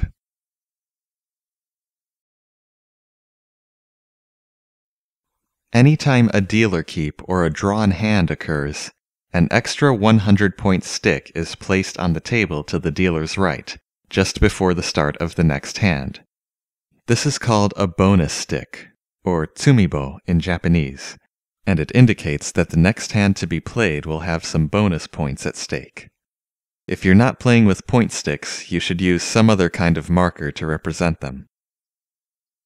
If dealer keeps or drawn hands occur over multiple hands consecutively, another bonus stick is added before each new hand, and the sticks accumulate. There is no limit to the number of bonus sticks that can be on the table. Each bonus stick increases the value of the next winning hand by 300 points. More details on that will be covered in the scoring section of the video. As soon as a non-dealer player wins a hand, all of the bonus sticks are removed from the table before the next hand. If you don't have any extra 100 point sticks, it is usually the dealer that volunteers the bonus sticks. However, the sticks are still considered to be part of your score. They only serve as a marker, and their points are not considered to be on the table in the same way as reach sticks. Sometimes you might see some translations of the rules describe the number of dealer keeps and the number of bonus sticks as being equivalent terms. This is just a little bit misleading though, because either a dealer keep or a drawn hand may contribute to the current accumulation of bonus sticks. However, only one bonus stick is added at a time after each hand, even if a dealer keep occurs at the same time as a drawn hand because the dealer was in tenpai. In an optional rule, during any hand in which there are five or more bonus sticks on the table, there is an additional requirement imposed in order for a hand to qualify as a winning hand. It must have at least two Han. Furthermore, those two Han must both be from Yaku. Just one Han from Yaku and one Han from Dora is not enough.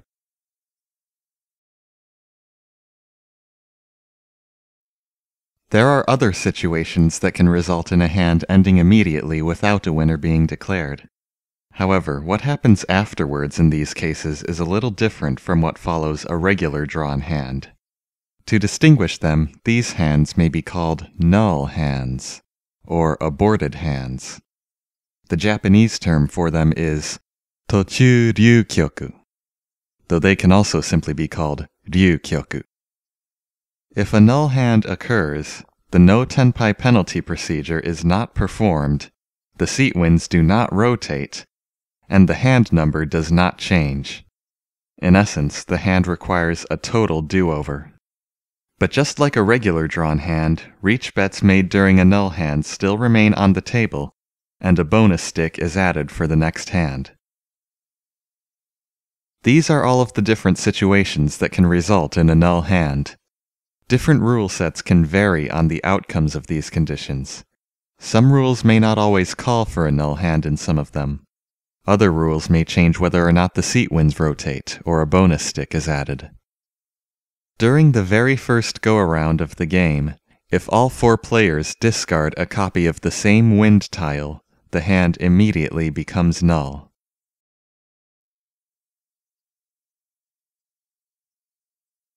If all four players declare reach during a single hand, and no one calls Ron on the discard of the fourth player to reach, the hand becomes null.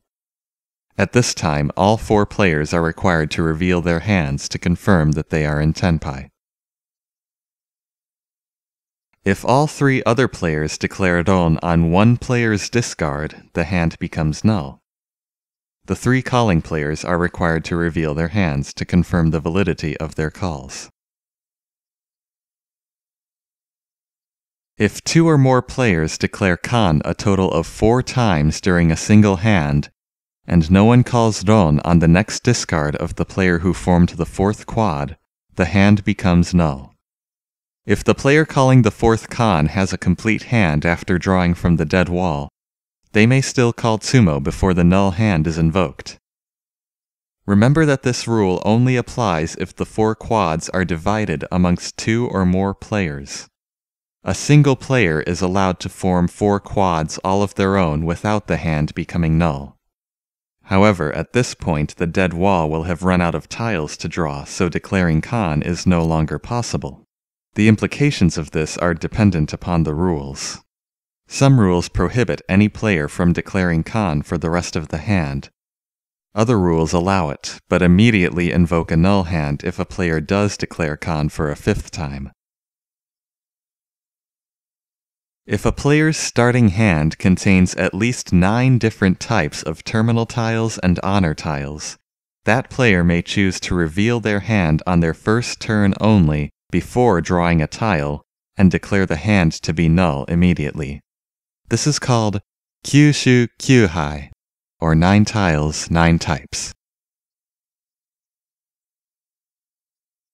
There are infractions a player can commit during a hand that invoke a rule called chonbo, requiring the player to pay a severe penalty to the other players. The details of chonbo are covered in their own section. If chonbo occurs during a hand, the hand becomes null. Unlike other kinds of null hands and drawn hands, chonbo is the only instance in which players that declared reach during the hand are given their 1000 point bets back. Only the reach bets that were placed on the table during the Chonbo hand are returned. It can be helpful to know the Japanese naming conventions for the hands of a game, because you will likely hear or see them used in video games. The Japanese name of a hand always starts with the current round wind, ton, nan, sha, or pei. Then the number of the hand is given, followed by the word for hand, which is kyoku.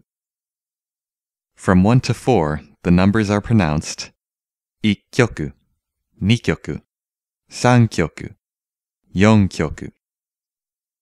So the very first hand of a game is always called ton ikkyoku, and the fourth hand of the south round would be called nan yonkyoku. The last hand of the last round in a game is also called orasu, which is a contraction of the Japanese pronunciation of all last. There are a few different ways you can translate the hand names into English. Ton ikkyoku could be called East Round First Hand, or East Round 1, or East Hand 1, or you could just leave it untranslated, anything you prefer. Now, if there are any bonus sticks on the table at the beginning of a hand, their amount gets appended to the name of the hand. In Japanese, they're counted in units called honba. So if the first hand of the game was repeated with a bonus stick added, it would be called ton ikkyoku ipponba. You can translate ipponba as something like with one bonus stick. Or you may choose not to translate the term and just say ipponba or one honba. First bonus hand is another possible translation you may see. But be careful not to get confused because consecutive bonus hands do not necessarily have to belong to the same hand number.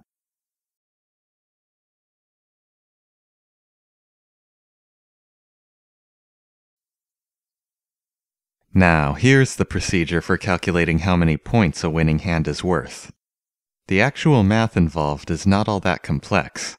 The difficulty arises from all the tiny individual details that you have to remember. If you're playing a video game, scoring of hands will be taken care of for you automatically. If not, there are cheat sheets available that can help streamline the scoring process. At the very least, though, you need to know how to count the two basic components of your hand's score. Han, and Fu. Han are the points you get from the Yaku you have built into your winning hand. Each Yaku in the game has a Han value between 1 and 6, a score based roughly on the relative difficulty of forming a hand that satisfies it. A hand must satisfy at least one Yaku to be considered a winning hand, so it will always have at least one Han. However, if your hand meets the requirements of multiple Yaku, Every one of those Yaku contributes its Han value to your hand's total, except for a few Yaku that aren't allowed to combine with each other. In the Yaku section of the video, I will describe in detail what each Yaku is called, what your hand must do to satisfy it, and how much Han it's worth. Now if you have any Dora tiles in your winning hand, this is the part where they help you out by adding extra Han to your total. Each copy of a Dora tile you have in your hand is worth one Han. If a tile counts as multiple Dora, it adds the same multiple of Han to your hand.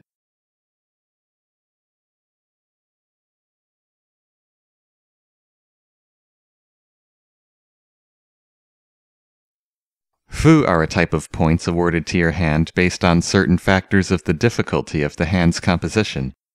They are sometimes referred to as mini points. Every winning hand always starts with 20 fu. Additional fu can be added if your hand meets any of the following criteria.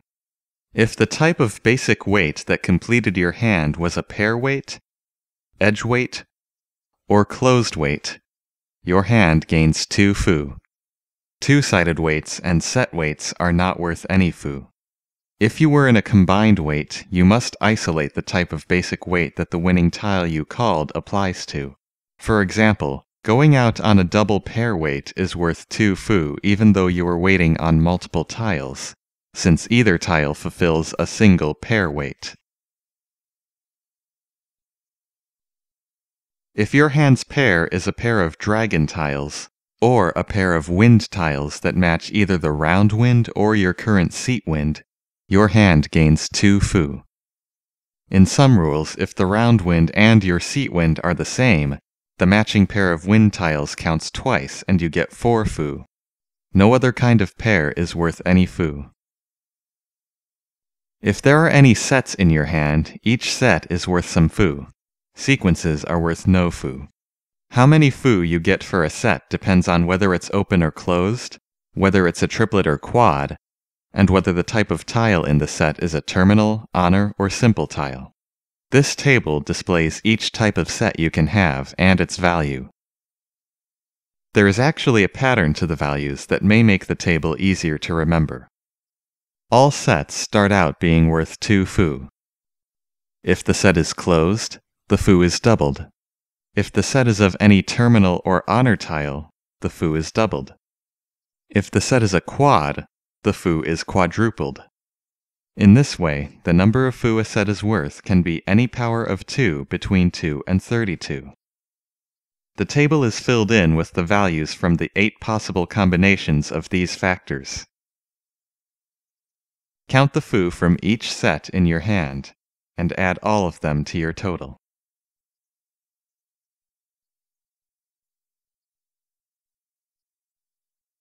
If you went out off the wall by Tsumo, your hand gains 2 fu. If you went out off an opponent by Ron, your hand gains 10 fu if it is closed. If your hand is open, it still gains 10 fu if it has not gained any other fu from the preceding steps, and its total is still 20.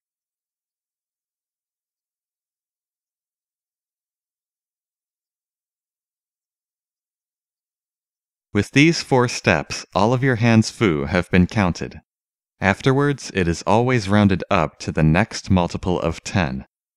This is how it works most of the time, but there are some exceptions that apply to specific Yaku.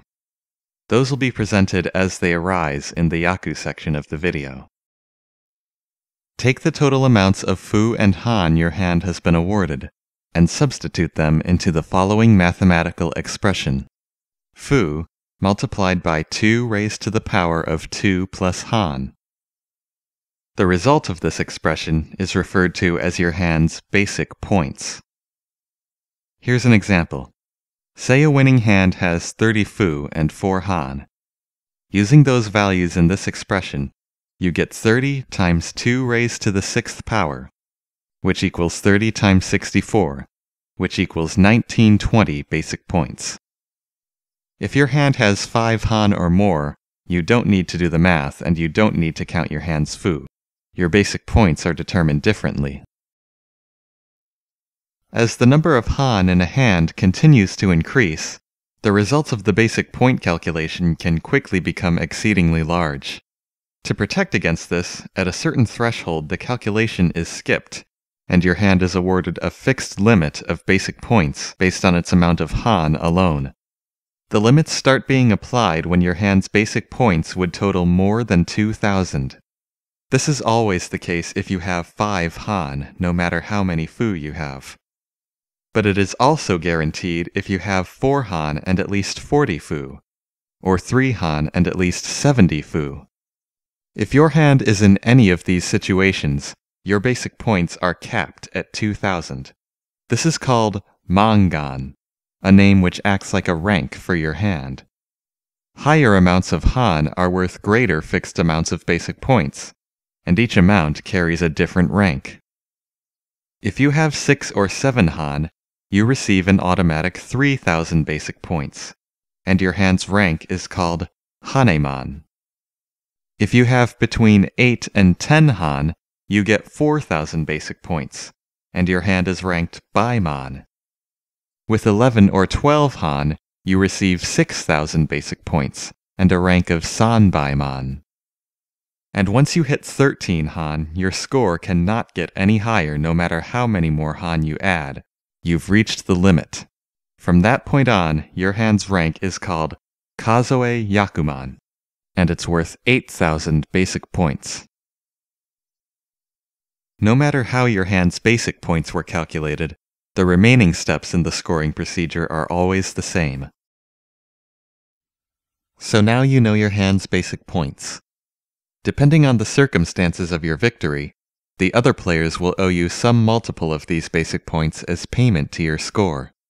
Which players have to pay what multiples is determined by two things whether you went out by Tsumo or Ron, and whether you are the dealer or not. If you went out on a Tsumo, all three opposing players are required to pay to your score.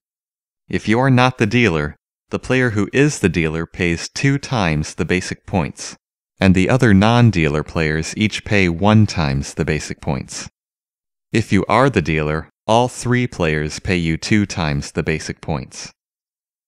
If you went out by calling Ron, only the player who discarded into your hand pays you, but they pay you much more.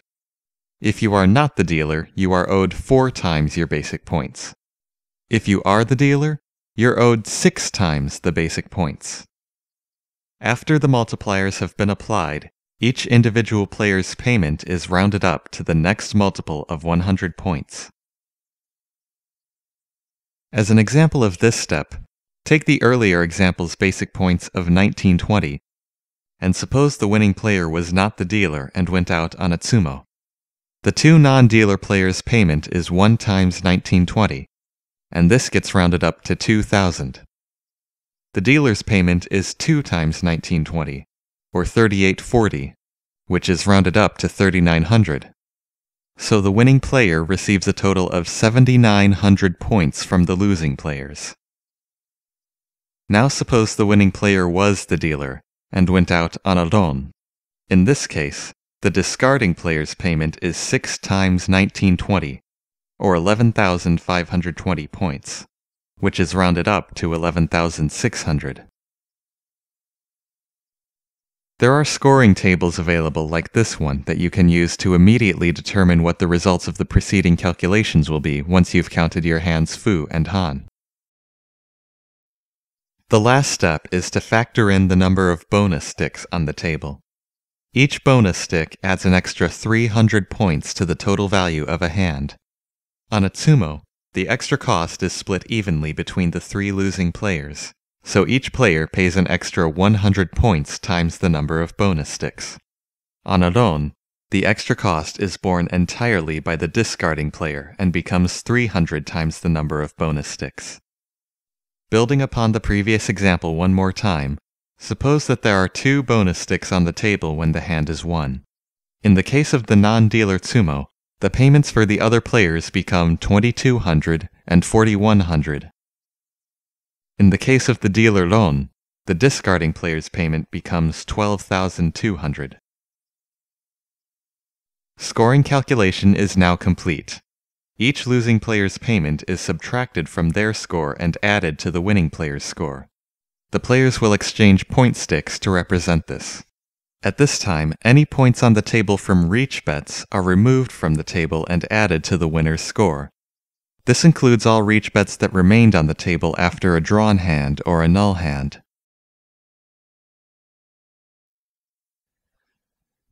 Yaku is the term used to refer to a certain set of conditions that your mahjong hand can meet in order to earn han.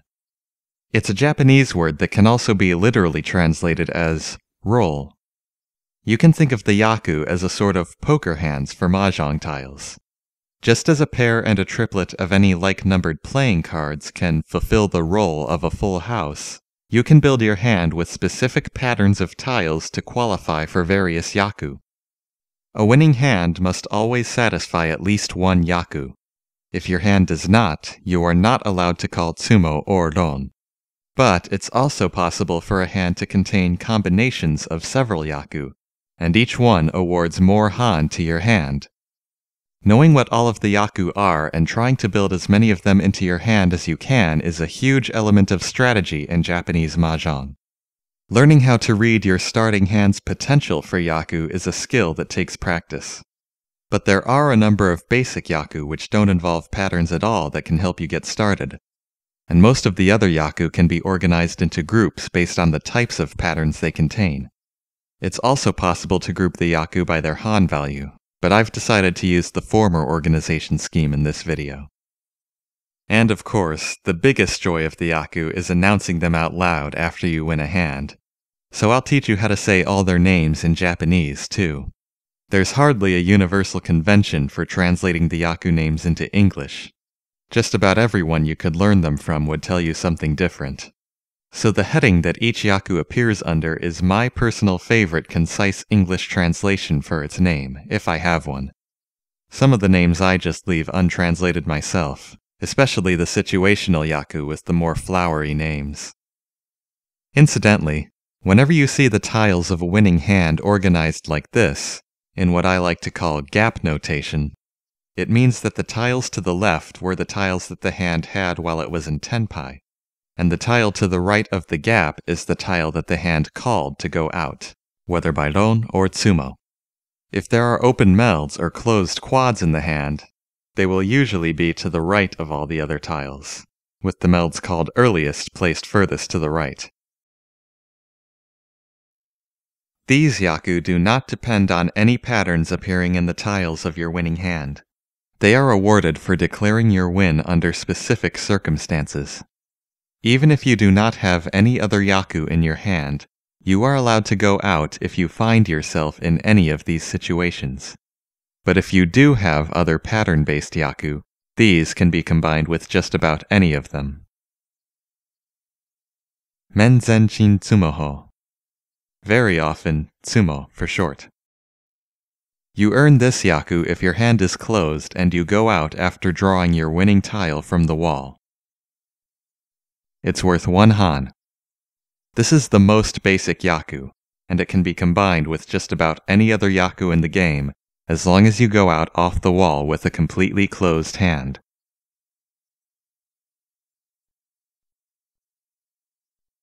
Riichi, another basic Yaku alongside closed Tsumo. If you declare reach during a hand, you are guaranteed this Yaku if you manage to go out that hand. Refer to the section of the video on reach and readying your hand for all the details. The reach yaku is worth 1 han. If you achieve this yaku alongside closed Tsumo, the two names can be contracted together into Ritsumo.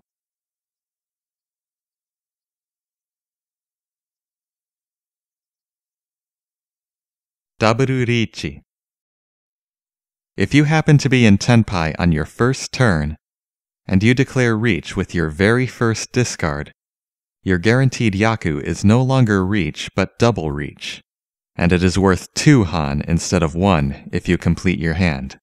Other than that, the exact same rules and conditions for Reach also apply to Double Reach, including the 1000 point bet. That's not doubled, thankfully. If any player creates an open meld before your first draw, you can no longer enter a double reach. You must settle for regular reach.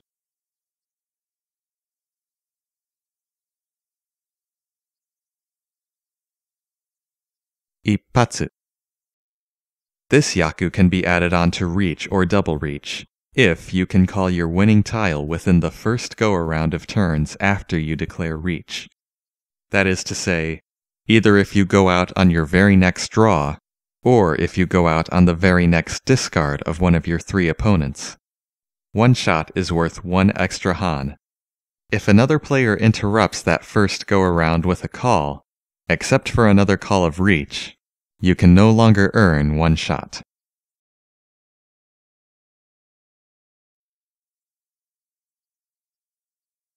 Rinshan Kaiho, or just Rinshan an unforgettable yaku.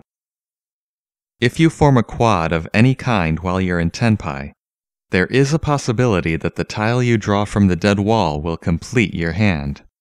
If you go out on that tile, you earn this yaku and one han. If your hand is closed, this is still considered a closed Tsumo as well. Remember that if you formed a closed quad, you always get to flip the next Kandora indicator immediately after drawing from the dead wall, before going out. With an open or late quad, this may not always be the case depending on the rules.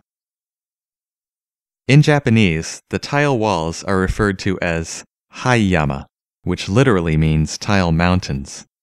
The tile that you draw from the dead wall after declaring Kan is called Rinshanpai a tile from the peak of the mountain. Therefore, the name Rinshan Kaiho is used to refer to the moment of drawing a winning dead wall tile as finding a blossoming flower at the peak of the mountain.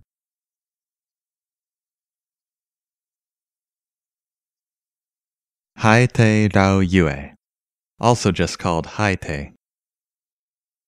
If you are the player to draw the last tile of the hand from the live wall, and that tile completes your hand, you may claim this Yaku and one Han. The name of this Yaku comes from the fact that the Japanese term for the last tile in the wall is Haite Hai, the tile at the bottom of the sea. If you achieve Haite Rao Yue, you have scooped up the moon from the bottom of the sea. In most rules, Haite Rao Yue is not allowed to combine with Rinshan Kaiho.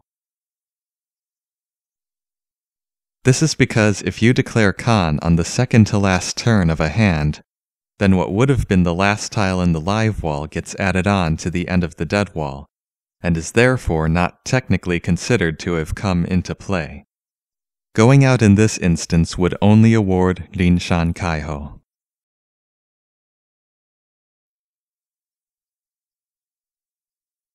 Hote Rao Yui. Short version Hote.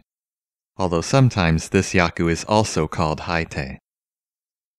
If you are not the player to draw the last tile of the hand, and you call Ron on the last discard of the player who did, you are awarded this yaku.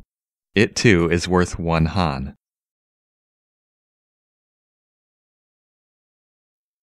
River is a Japanese term for the discard pile and the last discarded tile of the hand is the tile at the bottom of the river, Hote Hai. Hote Rao Yui means scooping up a fish from the bottom of the river.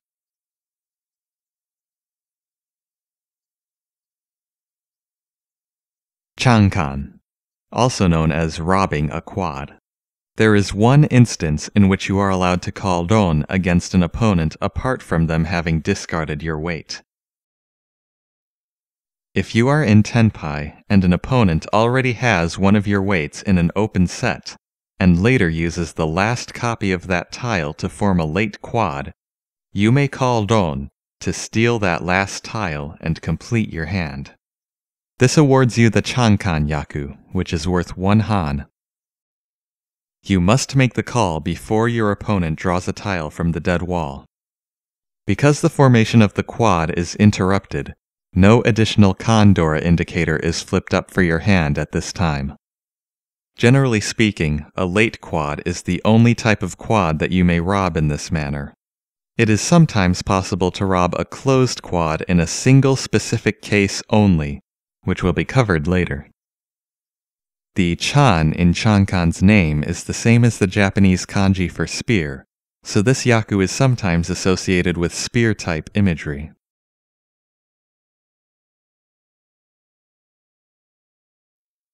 These yaku are awarded based on the patterns that appear in your hand's sequences. Ipeiko. A sequence pair is two sequences of the same suit with the same three numbers. If you have a sequence pair in your hand, it is a yaku worth one han. However, it's important to remember that this yaku may only be applied to a completely closed hand. If your hand has any open melds at all, even if the open melds aren't the sequences in the pair, you cannot receive credit for this yaku.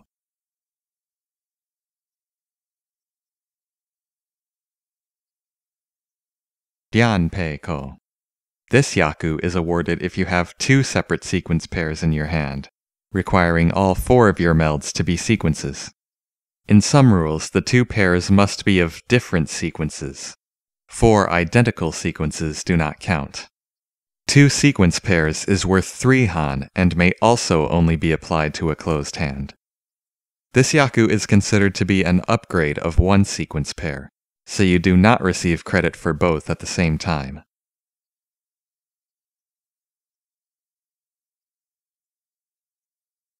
Ikkitsukan, or Itsu this yaku requires three sequences in the same suit, with the numbers 1, 2, 3, 4, 5, 6, and 7, 8, 9.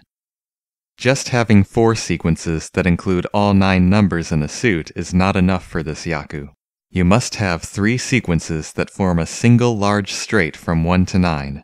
And remember, all nine tiles must be the same suit. You could call it a large straight flush, but the word flush already has a slightly different meaning pertaining to other yaku. Large straight is worth 2 han if your hand is closed, but it loses 1 han if your hand is open. This is a property shared by a few yaku, and it has a name which you might hear on occasion. Kuisagari, literally, eat and decrease.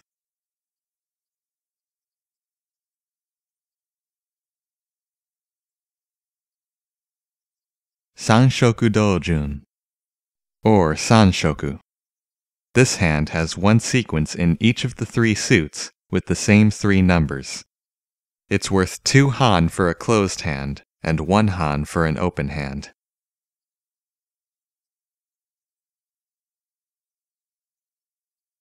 Pinfu. This yaku is easier than most others to achieve, but more complicated to talk about. You might sometimes see it called all sequences, and while that is technically a requirement, there's a bit more to it than that.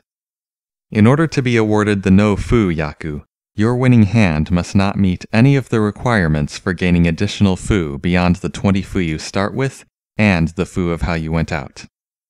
Any set is worth some fu, so all four of your hand's melds must be sequences.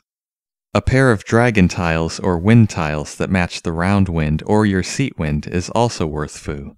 So your hand's pair must be of number tiles or non-matching wind tiles. And finally, going out from one of the three types of basic single waits is worth fu. The only way to avoid this is to go out from a two-sided wait to complete your last sequence. If your hand satisfies all of these requirements, it is a yaku worth one han. No fu cannot be awarded to an open hand. If you went out off an opponent, the 10 fu associated with Ron never count against your ability to achieve no fu. As for going out off the wall, in some rules the 2 fu of Tsumo do not get awarded to your hand if you meet all other qualifications for no fu. In other rules, they do still get awarded, and they will disqualify you from no fu.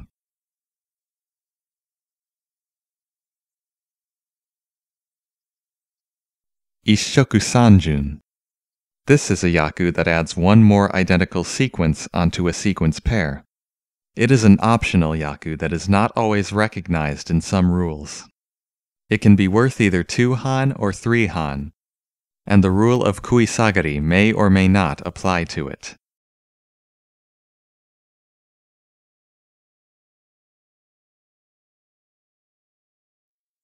These yaku are awarded for having patterns in your hand's sets. They all require your hand to have at least three sets, so they cannot be combined with any of the sequence yaku which require at least two sequences. However, most of the set yaku are compatible with each other. Remember, both a triplet and a quad count as one set. Toi Toi Ho, or Toi Toi. This yaku is awarded to a hand whose four melds are all sets. It doesn't matter whether the sets are open or closed. All sets is worth 2 han.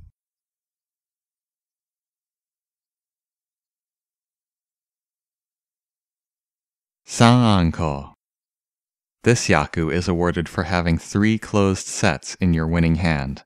The fourth meld does not matter. This is the only set yaku that specifically calls for closed sets, worth 2 han. There is an important restriction to note about this yaku.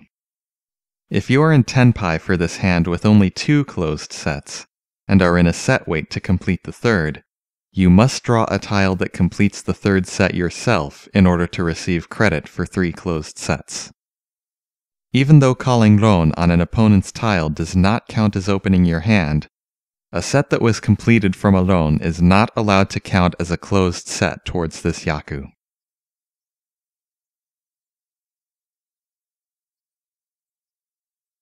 Sankantsu. This is the only set yaku that specifically calls for quads over triplets. You receive this yaku for having created three quads of any kind in a single hand. They may be open or closed, and they do not all have to be the same type of quad to Han.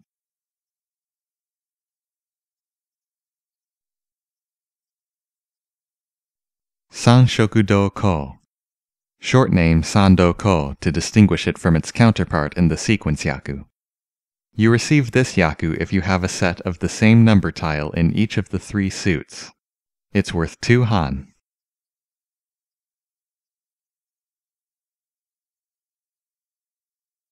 Sanrenko this is another optional yaku similar to one sequence triplet. If this yaku is in use, it is awarded to a hand that has one set each of any three consecutive numbers in the same suit. The hand is worth 2 han. If all of the relevant melds are closed, this hand is indistinguishable from one sequence triplet. However, both cannot be awarded at the same time. The Yaku that gets awarded in this case depends on which configuration of your hand's tiles would give you the highest score. When I talk about multiple hand configurations a little later, I'll give you a more detailed example.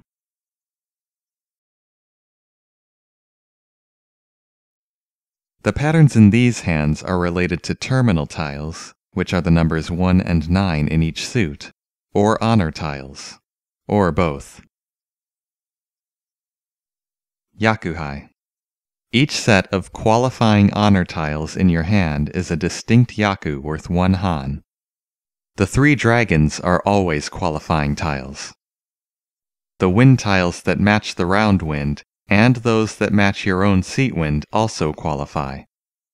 If your seat wind happens to be the same as the round wind, a set of matching wind tiles gives you two Han. This yaku is specifically referred to as Renfon Pai, or double wind. The honor set's yaku always combine with any other yaku in which a set could possibly appear, and no other yaku dealing with honor tiles is considered an upgrade of them. When announcing honor sets, the names of all the individual tiles should be given, because each set is actually its own separate yaku. The generic term yakuhai is more commonly seen in video games. The names are Ton, Nan, Sha, and Pei for the winds, and Haku, Hatsu, and Chun for the dragons. In the case of a double wind, insert the word dabu, which is Japanese short for double, before the name of the wind, as in dabuton. This is a good yaku to memorize early on, because you're guaranteed it if you can clinch any set of qualifying honor tiles, even an open one.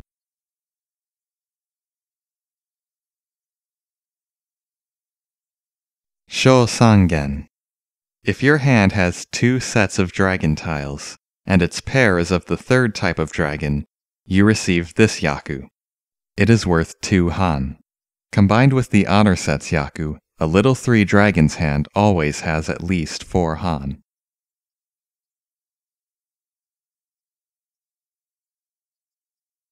Hon Chanta Yao Chu. But you can just call it Chanta. This Yaku is awarded if all of your hand's melds and its pair contain a terminal tile or an honor tile.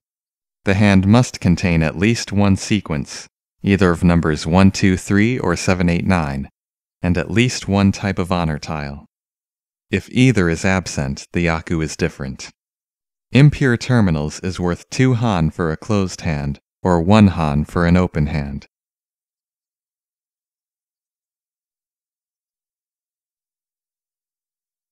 Junchan Tai Yao Chu. Junchan for short. This is an upgrade of impure terminals. Unlike its previous form, this hand has no honor tiles mixed in with its composition, making it purely terminal based. The pairs of terminal tiles, and all melds are either sets of terminal tiles or sequences with a terminal tile. At least one terminal sequence must still be present, or the Yaku changes again. Pure terminals gains an extra Han over impure terminals, providing 3 Han for a closed hand and 2 Han for an open hand.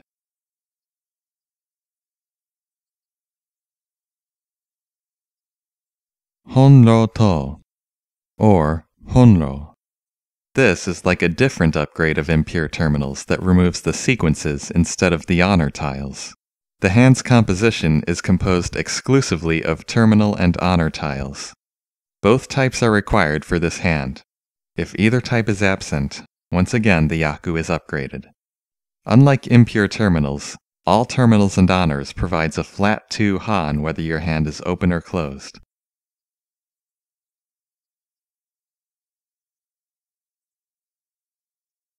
Tan Yao Chu or Tan Yao. You win this Yaku if your hand only contains simple number tiles with no terminals or honors. It's worth 1 Han. In some rules, it is not allowed to be claimed by an open hand. If you scored this Yaku alongside Reach, you may announce the two Yaku together as Mentan. Throw a no fu into the mix, and you may announce all three of them together as Mentanpin.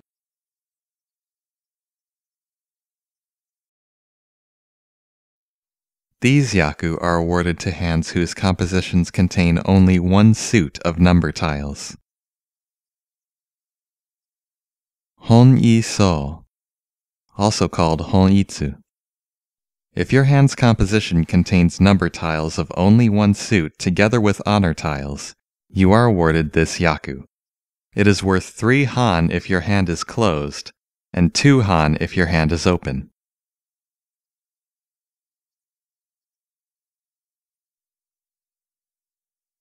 Chin-i-so, or Chin-itsu, an upgrade of half-flush. This hand has nothing but number tiles from one suit. A Yaku worth a whopping 6 Han for a closed hand and 5 Han for an open hand.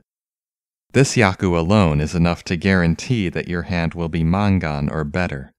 And of course, because it gathers so many number tiles of the same suit together, achieving Tenpai for this hand can put you in a monstrous wait on several different tiles. So you need to watch extra carefully to make sure you go out on a correct tile, and that you don't end up in Furiten.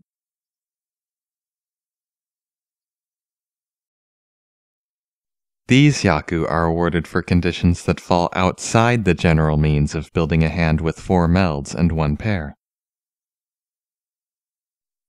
Chi Toitsu If you can complete a hand with one pair each of seven different types of tiles, you are allowed to go out and claim this Yaku. In most rules, all seven pairs must be pairs of different tiles. You cannot count four copies of a tile as two separate pairs. The seven pairs Yaku is worth 2 Han. It may be combined with all terminals and honors, no terminals and honors, and flushes to increase the hand's total Han. It is not considered to combine with two sequence pairs, even though the pattern in both hands can appear to be fundamentally identical. Likewise, one sequence pair is also not compatible with this hand. Counting of Fu is always skipped for a seven pairs hand, and it gets awarded an automatic 25 fu, which does not get rounded up. Some rules give the hand an automatic 50 fu and make the yaku worth 1 han instead.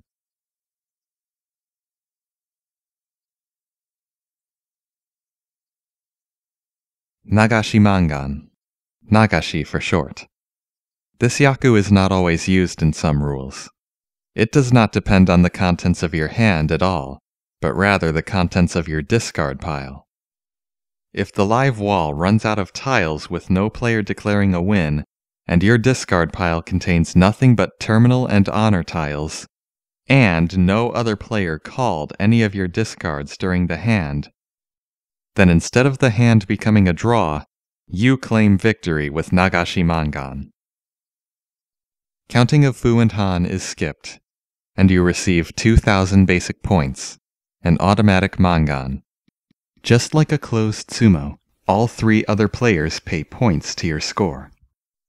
You do not need to have been in Tenpai to receive this Yaku. Also, remember that it only counts if the hand is played out to a drawn hand. It is not awarded in the event of a null hand.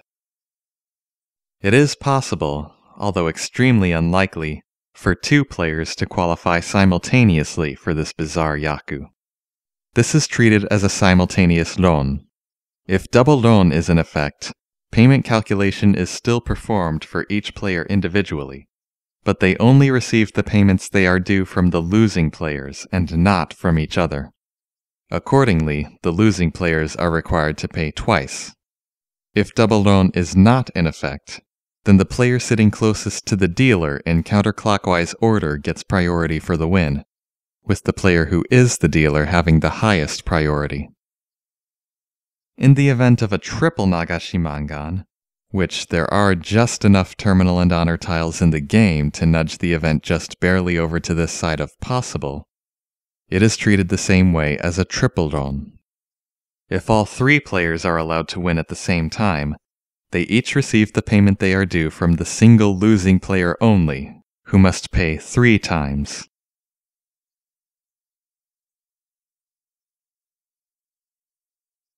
I call these exceptional Yaku because they are exceptions to the standard rules of four melds and a pair. If you're thinking of other Yaku that are certainly exceptional but in an entirely different sense of the word, those would be the Yaku Man. This is it. The Yakuman are the holy grails of Japanese Mahjong.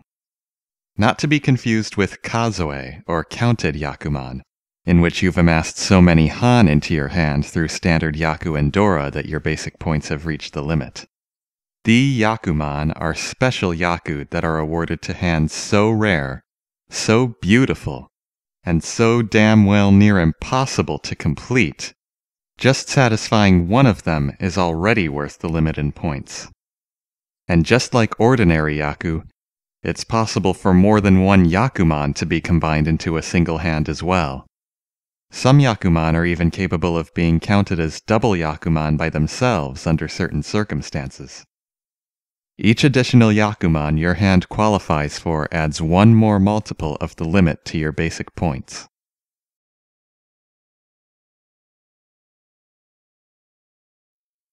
These are the standard Yakuman hands used in almost any rule set in Japanese Mahjong. If it's possible for a Yakuman to be considered a double Yakuman by itself, the case in which this becomes true will be noted. But remember, not all rules use double Yakuman. Suanko. You get awarded this Yakuman if all four of your hand's melds are closed sets. Just like with three closed sets, if you are in a multiple wait to complete the fourth set, you must draw the winning tile yourself or it does not count as closed. If you already have four closed sets in your hand and you're in Tenpai with a pair wait, you'll qualify for this Yakuman no matter how you go out. In this case, the hand also becomes a double Yakuman, and it is called Suanko Tankimachi.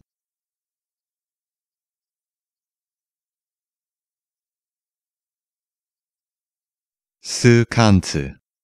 If four quads have been created by two or more players during the course of a single hand, the hand becomes null.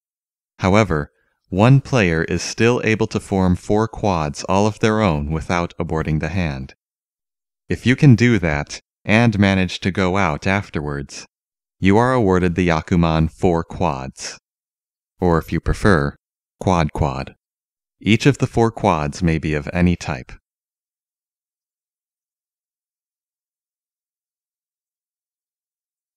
Dai Sangen. This hand contains one set of each type of dragon tile. They can be open or closed.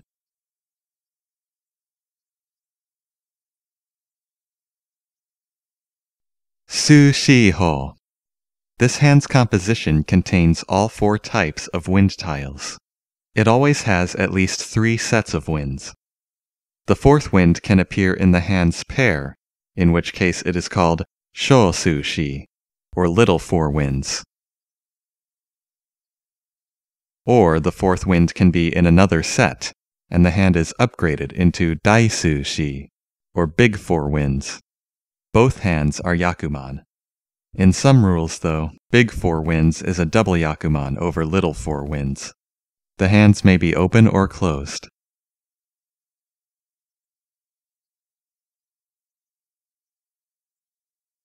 Chinro To. This hand's composition only includes sets of terminal tiles and a pair of another terminal tile. It can be open or closed.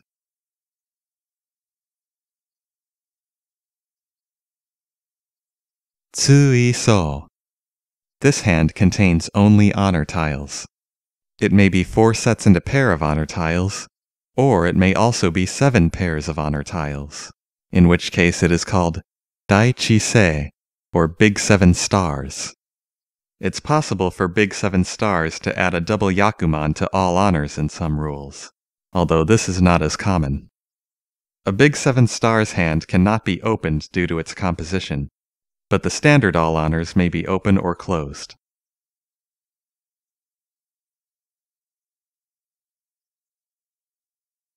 Ryui So This Yakuman is awarded to a hand whose composition includes no tiles other than the 2, 3, 4, 6, 8 Sou and the green dragon. In most Japanese tile sets, these six types of tiles are colored with green paint only. The other Sou tiles all have red on them somewhere. However, the qualifications for the Yakuman do not change no matter the color scheme in use. A perfect green hand may contain any of the six types of green tiles, but it does not have to include all of them. It is possible for it to include as few as four types.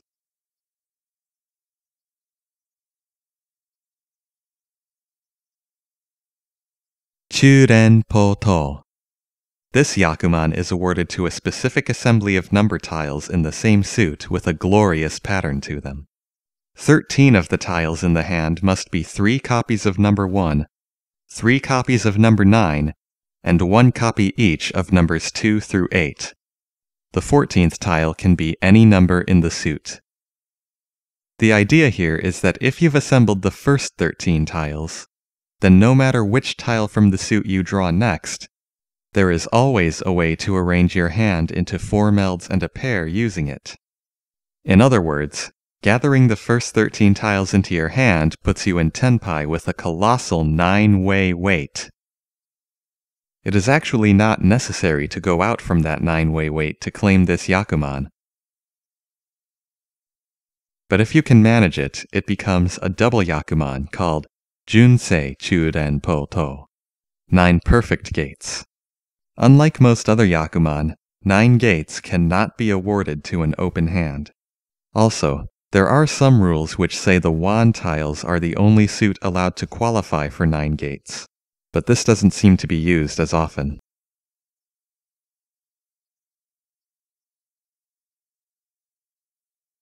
Kokushi Muso, the Peerless Distinguished Citizen, also known as 13 Orphans in English. This is another Yaku that violates the four melds and a pair rule for building your hand. There are six types of terminal tiles and seven types of honor tiles in the game. A Kokushi Muso hand includes one copy each of all 13 of those tiles, and then one more copy of any of them. It is possible to be in Tenpai for this hand with a pair of tiles already, and waiting on the last type of tile you don't have. However, if you manage to assemble one of all 13 types of tiles into your hand, then you have put yourself in the ultimate 13-way wait for the pair, a feat unrivaled by any other tile configuration in the game. In this case, it becomes Kokushi Muso Shi San Men Machi, a double Yakuman.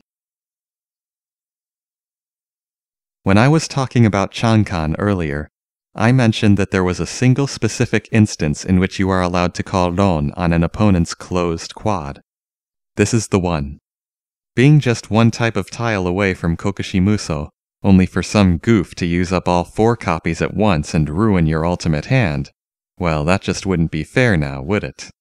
So, in certain rules, if you are in Tenpai for Kokushi Muso with a pair, and you're waiting on the last type of tile you don't have, and an opponent creates a closed quad of that tile, you may call Ron before they draw from the dead wall to steal a tile from the closed quad and complete your hand. This is also considered a type of Chankan. Of course, all the conditions of a regular Chankan can still apply to Kokushi Muso as well.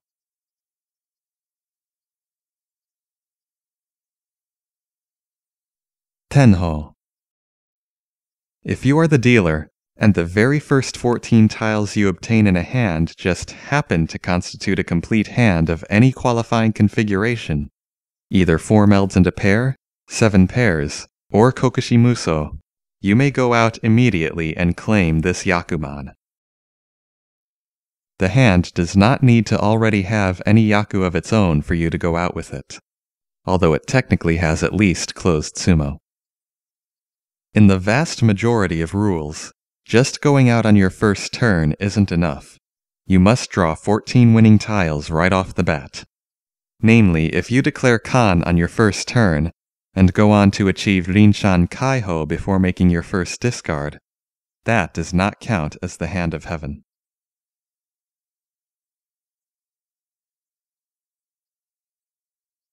Chiho. This is the non-dealer version of the Hand of Heaven. If you're not the dealer and the 13 tiles in your starting hand put you in Tenpai for any qualifying configuration of tiles, and the tile you draw on your first turn completes the hand, you may go out immediately, and you will be awarded the Hand of Earth. Once again, declaring Kan and achieving Rinshan Kaiho on your first turn doesn't count. But there's also an additional restriction. If any other player calls Pon, Chi, or Kan before you make your first draw, you may no longer claim the Hand of Earth.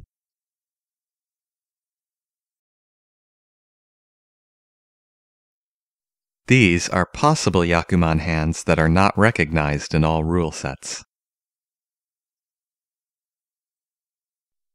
Renho. This is another possible variation on the going out immediately Yakuman. You achieve this Yakuman by successfully calling Ron on another player's discard before your first turn. This entails that you are not the dealer, your starting hand puts you in Tenpai, and your starting hand's composition already has at least one Yaku of its own, so that you would be allowed to call Ron with it normally. Then, if any other player discards your winning tile before you have made your first draw, going out on it upgrades whatever hand you had into the Hand of Mankind. Just like the Hand of Earth, any player calling Pon, Chi, or Kan eliminates your chance to score this Yakuman.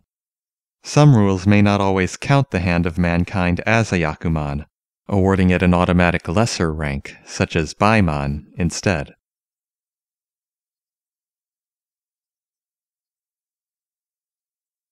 Surenko Similar to the also optional Sanrenko, or sequence of sets.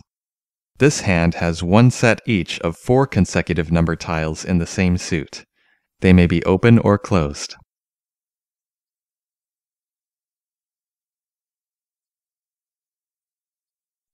Dai Sharin. This Yakuman is awarded to a hand with two copies each of the number tiles 2 through 8 in a single suit.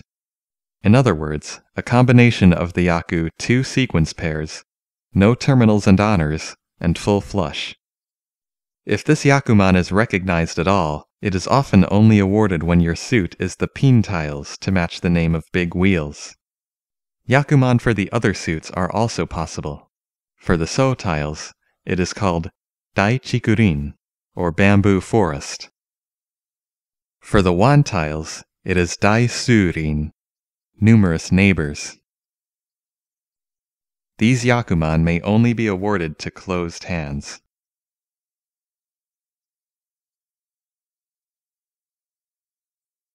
Pa Renchan. Although the Japanese name literally means eight dealer keeps, that alone is not enough. You must win eight hands in a row, without any drawn or null hands in between. If you do, then whatever the eighth winning hand was automatically gets upgraded into this Yakuman. There are many variations of eight consecutive wins. Some rules say the player must also have been the dealer all eight times. Some say the eighth consecutive winning hand does not need to have any other Yaku of its own. Some say every consecutive win after the eighth is also a Yakuman, Others say the next Yakuman does not occur until the 16th consecutive win. You'll have to decide what works best for yourself. Fu and Han do not need to be counted for a Yakuman hand, and Lesser Yaku and Dora tiles appearing alongside the Yakuman are not applied. To calculate your basic points, just count the number of Yakuman that appear in your hand. Each Yakuman you satisfy adds 1 to your total. Each double Yakuman adds 2 to your total. Multiply the number of Yakuman you have by the limit of 8,000, and that's how many basic points your hand is worth. Payment calculation still occurs as normal, factoring in the dealer seat and the number of bonus sticks. As an example, this hand has three closed sets of dragon tiles and one closed set of wind tiles, and it went out from a pair wait for another wind tile. This hand has scored big three dragons, all honors, and four closed sets. That's three Yakuman, which give it at a minimum 24,000 basic points. If double Yakuman are allowed, the four closed sets pair wait counts twice, giving the hand 4 Yakuman and 32,000 basic points.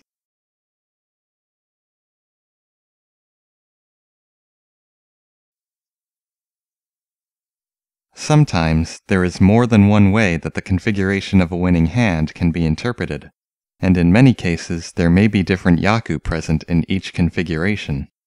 However, when scoring your hand, you do not get credit for all Yaku present in all possible configurations of your hand, because a winning hand may only have one configuration at a time, and the configuration that gets priority is always the one that gives your hand the highest score. Let me show you what I'm talking about. Take a look at this closed hand. On the right side, this hand has already completed two distinct sequences of number tiles. On the left side, we have 1 1 2 3 3 4 4 1. This formation provides the hand with its waits. I'm going to have the hand draw another 2 1. Now the hand is complete, but there are two possible interpretations of its configuration. The four wan tiles could be a pair, and the hand would have a sequence pair of 1, 2, 3 wan. Or the 1, 1 wan could be the pair, and the sequence pair would be of 2, 3, 4 wan. These are two separate configurations for the same collection of tiles, and unlike combined waits, they cannot exist simultaneously. Now watch what happens to the hand's yaku for each of these configurations. Suppose that before we drew the two wan, this 1 1 wan was the pair, and one of these 2 3 4 wan was the hand's third sequence. This would have put the hand in a two-sided wait for the fourth sequence. In this configuration, the hand's only yaku are one sequence pair and no fu. Now, suppose the hand's pair was 4 4 wan, and 1 2 3 wan was the third sequence. This puts the hand in a closed wait on the two wan only. The no fu yaku is lost to the two fu of the closed wait, but one sequence pair remains, and now the hand has a three suit sequence as well, which is worth an extra han over no fu. Therefore, this is the configuration that is determined for the hand, and it gets awarded closed tsumo, one sequence pair, and three suit sequence. 4 han 30 fu. It does not receive the no fu from the other possible configuration. If you're into physics, you could say that the hand's wave function has collapsed to the highest scoring configuration. This rule is the same reason why sequence pair yaku are not allowed to combine with the seven pairs yaku. Look at this hand. The two sequence pairs yaku requires this hand to be configured into four sequences and one pair. Seven pairs requires that each pair in the hand be separate. These are two distinct configurations, and because two sequence pairs is worth more Han, it takes priority and seven pairs is not awarded. Similarly, if one sequence pair happens to appear in a seven pairs hand, it cannot be awarded because it would require the hand to be configured into two sequences and four pairs which is not a winning configuration anymore. If the optional Yaku 1 sequence triplet and sequence of sets are both in effect, it can be possible for a hand to be configured into either one if all nine tiles necessary are concealed. However, both Yaku cannot be awarded simultaneously, because one requires the tiles to be configured into three sets, and the other requires three sequences. Once again, This rule needs to be used to determine which configuration gives the hand a higher score. Take a look at this hand first. If this hand's 1, 2, 3 pin tiles are configured into three sets, it provides the hand with the Yaku sequence of sets and three closed sets. But if the tiles are arranged into three sequences of 1, 2, 3, they combine with the rest of the hand to provide the pure terminals and no fu Yaku, in addition to one sequence triplet. Now, supposing that both sequence of sets and one sequence triplet are worth 2 Han, the set configuration gives the hand a total of 4 Han, and the sequence configuration gives it 6 Han. So in this case, the hand is forced to behave in the sequence configuration. Now for this hand, if the 1, 2, 3 pin tiles are arranged into sequences, one sequence triplet is the hand's only Yaku for 2 Han. But if the tiles are arranged into sets, the hand gets to score sequence of sets, all sets, and three closed sets for 6 Han, that means that the set configuration gets priority this time.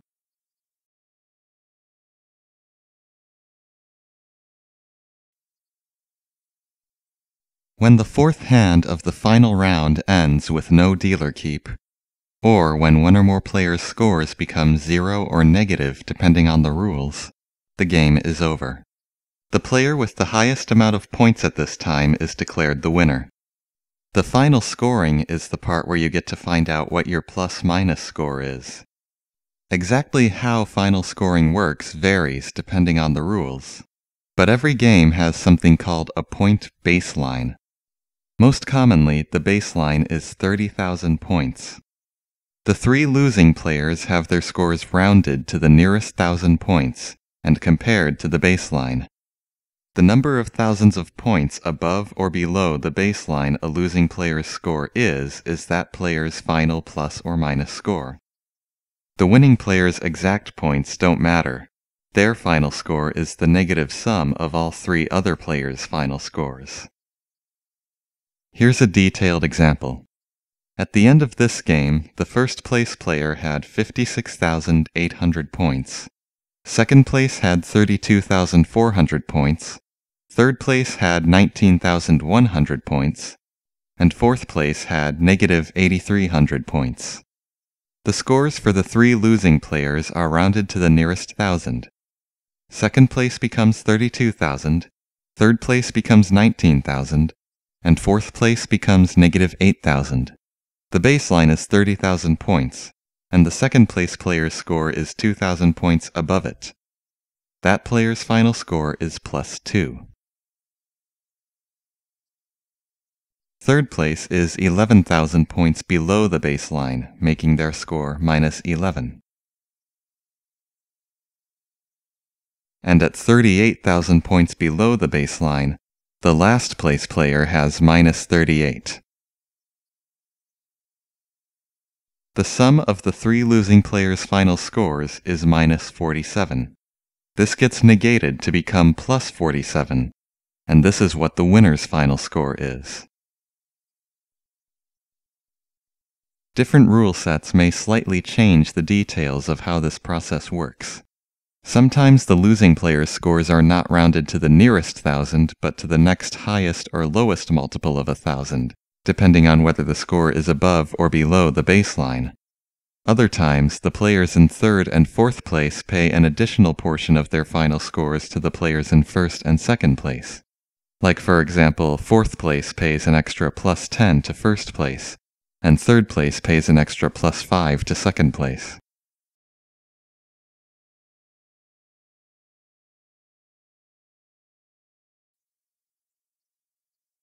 As you've heard, there are various things that it has been repeatedly stated you are not allowed to do in Japanese mahjong. You can try to do them, or you might even just do them unintentionally. But if another player catches you, they may call you out on it, and you will be heavily penalized. If a player commits a severe infraction during the course of a hand, it is referred to as chonbo. Whenever chonbo occurs, the current hand becomes a null hand. Then the player who committed the infraction is required to pay a penalty to the other player's scores in the amount of a mangan hand. A non-dealer would pay 4,000 points to the dealer and 2,000 points to the other non-dealers. The dealer would pay 4,000 points to every other player. Afterwards, any reach bets made during the chonbo hand are returned to their owners. Chonbo is the only type of null hand in which this occurs. Any of the following actions is considered a severe infraction. Declaring a win without having a qualifying hand. Either your configuration of tiles is invalid, or you do not have any yaku in your hand. It can also be because you called the wrong tile to go out. Going out without giving the other players a chance to confirm that your hand qualifies calling ron on another player's tile while you are in any kind of furiten. Declaring reach while you're not in tenpai. You don't get penalized for this right away because the other players can't see your hand yet. You will get penalized if you try to go out, or if the hand is played to a draw. Remember, after declaring reach, you are required to show your tiles in the event of a drawn hand. If another player wins the hand so that you don't end up having to show your tiles, you escape the penalty. Forming an illegal quad while you are in reach. Remember that after you declare reach, you are only allowed to turn one of your triplets into a quad if you draw the fourth tile during your reach and the creation of the quad has no effects on your hand's waits or possible configurations. Once again, this infraction will not come to light unless you try to go out, or until you reveal your tiles after a drawn hand. Knocking over a large portion of the wall, such that the tiles are exposed or it is impossible to continue the hand. Be careful how you handle the tiles. Violating certain advanced rule variations. When I cover the advanced rules, I will tell you which ones you can be hit with chonbo for breaking trying to make any kind of call, either to win, for any kind of meld, or to enter reach, when you have a dead hand. See the next section.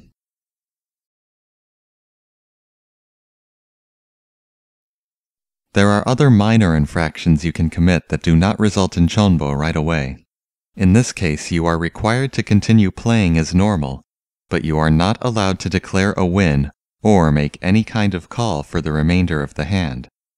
This is referred to as having a dead hand. Any of the following minor infractions results in a dead hand. Calling the wrong type of tile for an open meld. Having more or less tiles in your hand than you should have at any time. Drawing the wrong tile from the wall on your turn touching a tile in the wall such that its value was exposed or you were able to feel its face. Knocking over and exposing the tiles in a player's hand or the dead wall. After forming a quad, drawing the wrong tile from the dead wall. Or failing to draw from the dead wall before you discard. Because you must continue taking your turns as normal, other players may still call your discards for open melds and to win while your hand is dead. But remember, if you try to make a call in this state, you've just upgraded your dead hand to a chonbo. It should be noted that most video games will actually prevent you from taking any action that would penalize you. For example, blocking you from calling Ron while you're in Furiten. Word on the street, though, is a few of them will not so always keep the rules in mind and follow good table manners.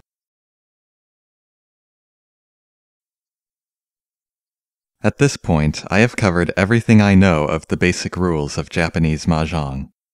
However, throughout this video there have been many instances in which I mentioned a particular situation only being applicable in certain rules.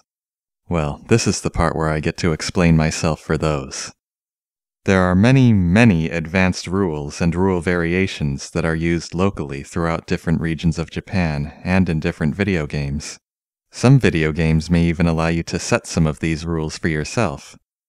Keeping track of all of them can be quite cumbersome, but if you're playing your own casual game with other people, they're all things that you really do need to decide upon beforehand so that everyone knows what to do if a certain ambiguous situation arises. If you are playing a video game, or you're in some other environment with predetermined rules, you at least need to be aware of these variations so you can recognize which ones are in effect. Although some variations are used more commonly than others, it's almost impossible to define a standard default set of these variations that you should expect to see most often. But I will do my best to explain the advanced rules that you will most likely have to deal with. I'll also give my personal recommendations for which variations to use for your own games if you're just starting to learn them. But all of these settings are completely up to you, whichever you decide that you prefer. In Japanese, the words ari and nashi are usually used to refer to whether or not a certain variation is being used. Depending on the context of the rule, Ari can mean present, valid, or in effect, while nashi can mean absent, invalid, or not in effect.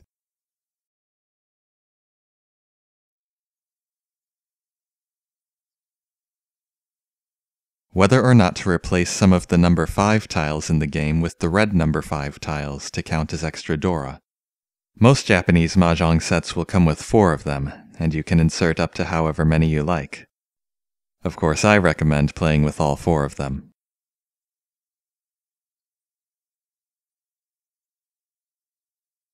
You may choose to play with or without revealing additional Kandora indicators when a player creates a quad.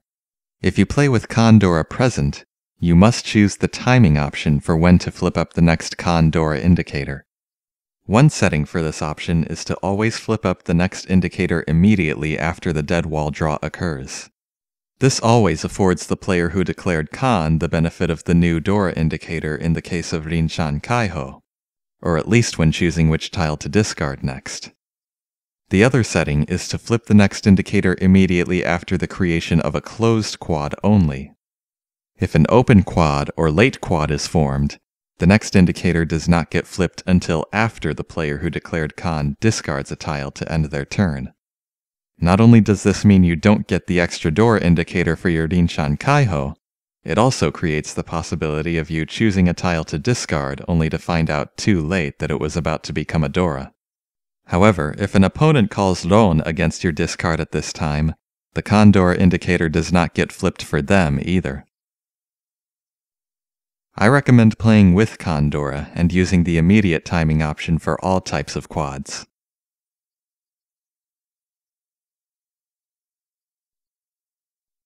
You can choose whether or not a player who goes out after declaring reach gets to flip up the Uradora indicators before scoring their hand. Tiles marked by the Uradora indicators become additional Dora for the winning hand before its Han total is counted. If the Kan Dora indicators are in use, you may choose whether to use the Kan Uradora indicators as well. Only the Dora indicators that are face up at the end of a hand may have their Uradora indicators flipped. I recommend playing with all Uradora in use.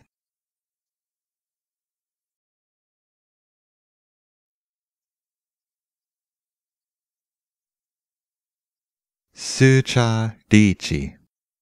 With this rule present, if all four players declare reach during a single hand, the hand becomes null after the fourth player to call reach discards a tile.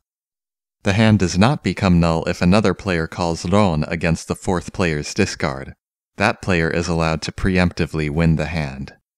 If the discard goes through and the null hand is invoked, all players are required to reveal their hands to confirm that they called reach while in Tenpai. If Su Cha is absent, then nothing special happens after the fourth player calls reach, and the hand continues as normal.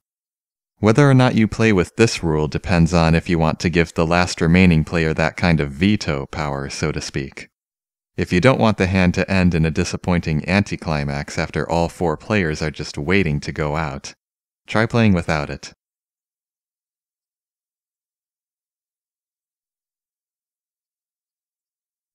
Sanchaho. If three players win a hand simultaneously, either by calling Ron on the same discard or by Nagashi Mangan, This rule declares that nobody wins, and the result is a null hand. If you play without this rule, there are other settings you need to decide on for what does happen, which I'll cover later. I do recommend a null hand in the event of a triple win, though, for the sake of simplicity.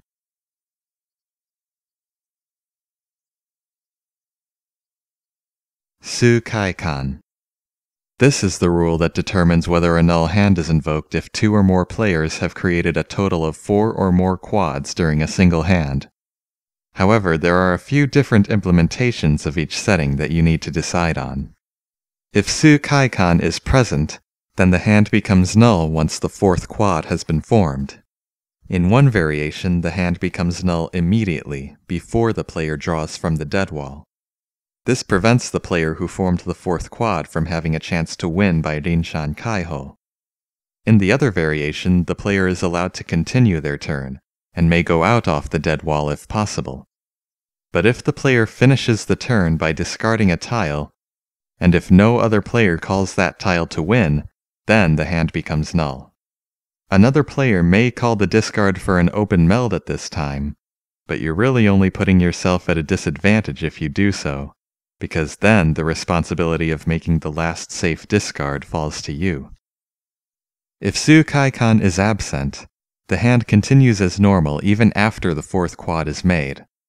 However, it is now impossible for any more quads to be formed because there are no extra tiles left in the dead wall. The tiles added on to the other end from the live wall don't count. They must always stay dead.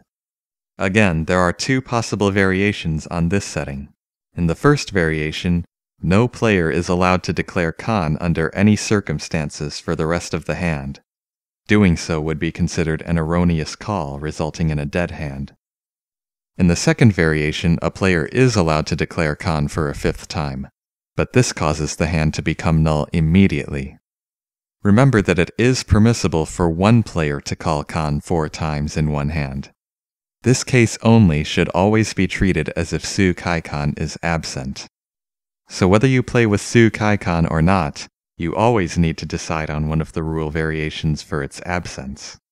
If a player calls Ron to claim Chankan against any quad that would result in a null hand for any reason, Chankan always takes precedence.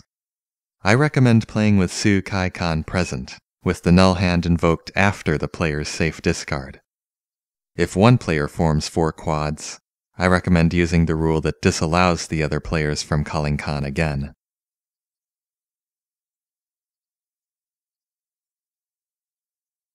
Kyushu Kyuhai. This rule determines if a player can choose to reveal their hand on their first turn and declare a null hand immediately if their starting hand contains at least nine different types of terminal and honor tiles, and if no other player has called Pon, Chi, or Kan first. If valid, this action is allowed. If invalid, it is not allowed, and the player must play the hand as normal. Trying to call Kyushu Kyuhai in this case would be considered an illegal exposure of hand tiles, resulting in a dead hand. I recommend playing with Kyushu Kyuhai valid, because hey, even with a 9 tile head start, Kokushi Muso is still really hard to do.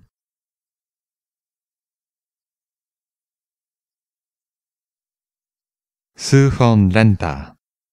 If this rule is present, a null hand occurs if all four players discard a copy of the same wind tile on the first four turns of the hand. It can be any one of the four types of wind tiles, as long as all four players discard the same type. If the tiles are distributed such that it is possible for this situation to play out, it would not be possible to interrupt with a call. If Sufon Lenta is absent, nothing special happens in this case. The opportunity for Sufon Lenta only lasts for the very first go-around of a hand. If any player breaks the sequence, or the dealer does not start it, four consecutive discards of the same wind tile does not cause anything special for the rest of the hand. I actually recommend playing with this rule, because it provides a way for the players to come to a subtle agreement that the tiles could stand to be reshuffled if everyone's hand is crap. Of course, if the fourth player opts not to discard their copy of the win tile on the first turn, watch out for them.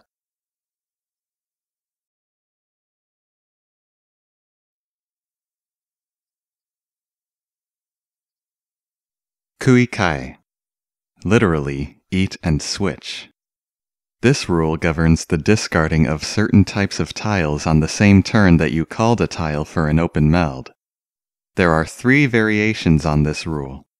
If Kuikai is valid, you are allowed to discard the same type of tile you called that turn if you already had a copy of it in your hand.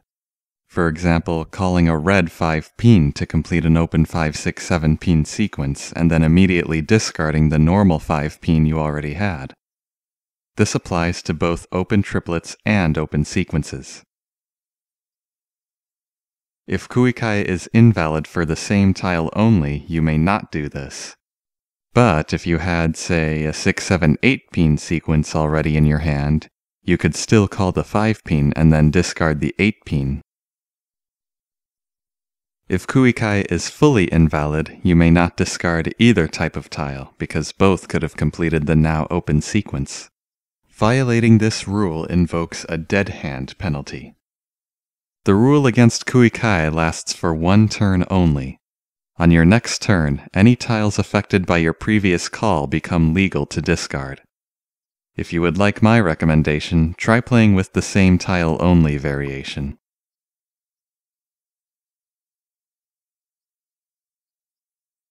Karaten. The term refers to the state of being in tenpai for a hand that's impossible to complete, because all of your waits are already face up on the table, either in open melds, closed quads, discard piles, or in the dead wall as Dora indicators. The rule of karaten affects whether or not a player in this state is allowed to call tenpai at the end of a drawn hand. If karaten is valid, you are allowed to call tenpai with a karaten hand. If it's invalid, you are not. Some variations may specify locations of tiles for where karaten is valid or not individually. For example, if at least one of your waits are in a discard pile, your karaten is valid. But if they are all in open melds, closed quads, or the dead wall, your karaten is invalid. This is actually the variation I recommend.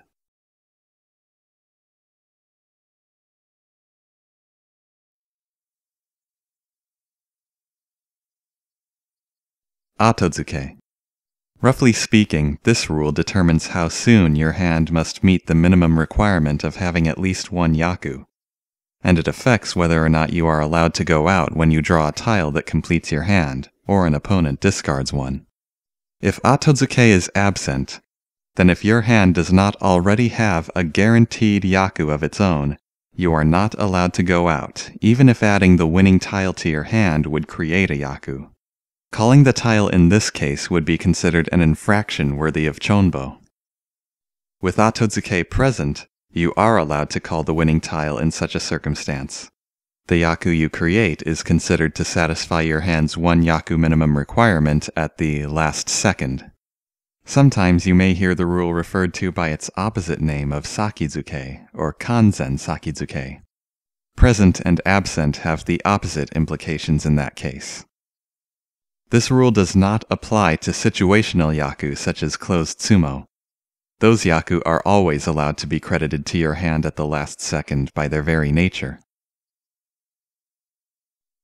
Look at an example. This hand's composition is one tile away from having a large straight. However, this is not a guaranteed yaku because the hand is actually in a two-sided wait on both the 6 sou and the 3 sou. Completing the hand with a 3 sou would not provide any yaku. Therefore, if Sakizuke is in effect, then even if an opponent discards the 6 sou, this hand would not be allowed to go out on it. Likewise, because the hand is open, it may not go out after drawing a 6 sou from the wall.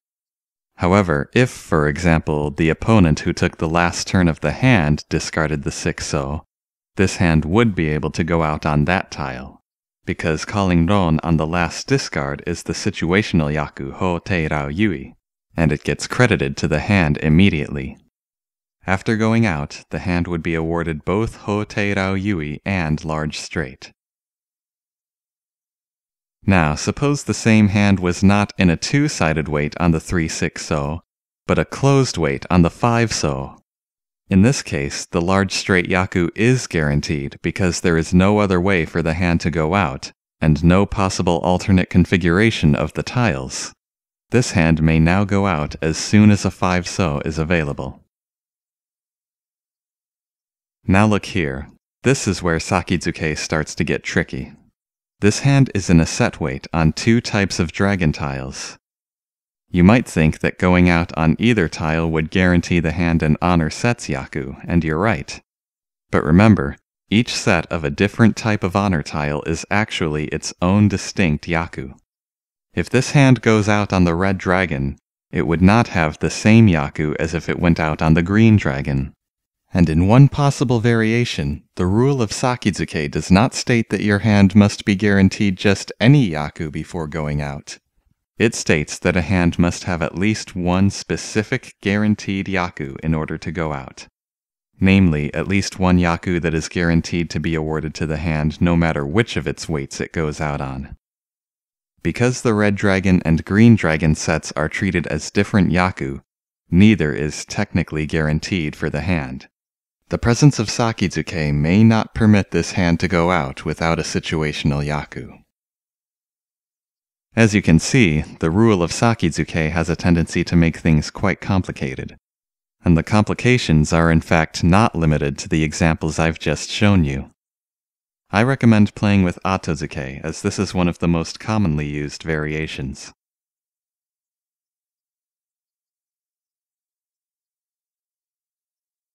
The double ron rule determines what happens in case two players try to call ron on the same discard. If double ron is absent, the calling player who is closest to the discarding player in counterclockwise order gets priority for the win over the other player, and the discarding player is required to pay the value of that player's hand only. If double ron is present, then both players win, and the discarding player must pay each winner the value of their respective hand. However, in the presence of double ron, there are a few additional things you have to decide on. Who receives the extra payment from the bonus sticks? It can either be added to both winning players' scores, or added to the nearest counterclockwise player's score only. If the dealer was one of the winning players, whether or not a dealer keep occurs. You can choose to have it always occur, because the dealer was one of the winners, never occur because a non-dealer was one of the winners, or base it on whether or not the dealer was the nearest counterclockwise player. Those are the only two extra settings you have to choose. If there are any reach bets on the table, they are always all claimed by the nearest counterclockwise player. In order to simplify matters at first, I recommend playing with double ron absent.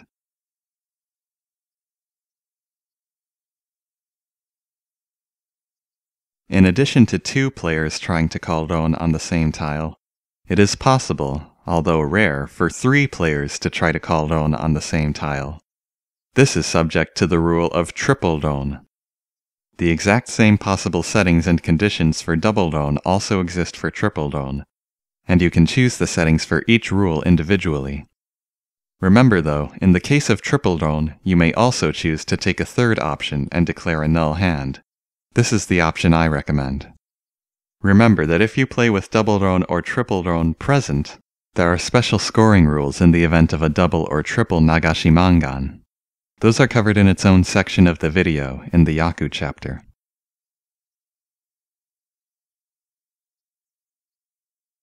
Ryanhan Shibari. If this rule is present, then during any hand in which there are five or more bonus sticks on the table, a player's hand must have at least two Han worth of Yaku, not Dora, in order to be able to go out. The hand may still receive Han for Dora tiles as normal, but if less than two of the hand's total Han come from Yaku, the hand is not allowed to go out. Trying to go out without satisfying this extra condition is considered an invalid declaration of a win, resulting in Chonbo. If Ryanhan Shibari is absent, this 2 Han minimum never comes into effect. Ryanhan Shibari does not affect a player's ability to call Tenpai at the end of a drawn hand. Try playing with this rule absent at first.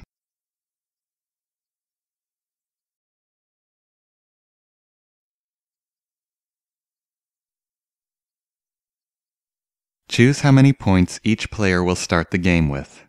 In the most common scoring rules, each player starts with 25,000 points, or some other amount between 20,000 and 30,000.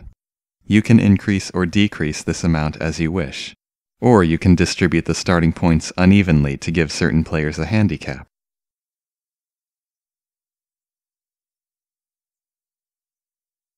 You can choose how many total points are exchanged after a drawn hand between the players in Tenpai and the players not in Tenpai.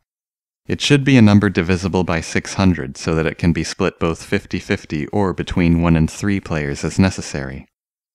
You can also choose to play without a no tenpai penalty, although you still need to perform the step at the end of a drawn hand. In most rules, the total no tenpai penalty is 3,000 points.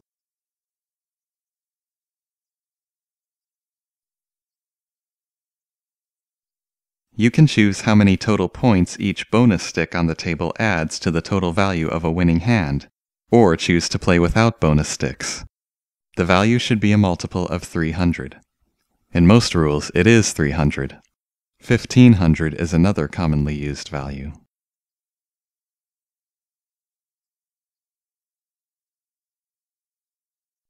Kiriage Mangan the basic point calculations for a winning hand with 4 Han and 30 Fu, or 3 Han and 60 Fu, both work out to 1,920 points. Normally, the rank of Mangan is only awarded to a hand when its basic point calculation would exceed 2,000. But 1920 points really is almost Mangan, and that's why the rule of Kiriage Mangan exists. If it's in effect, a basic point score of 1920 gets rounded up to 2000 before payment calculation occurs, and the hand becomes Mangan by approximation.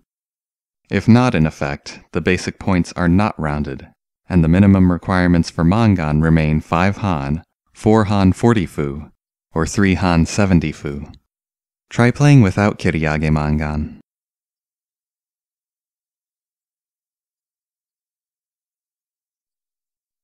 You must choose how many fu are awarded to a double wind pair.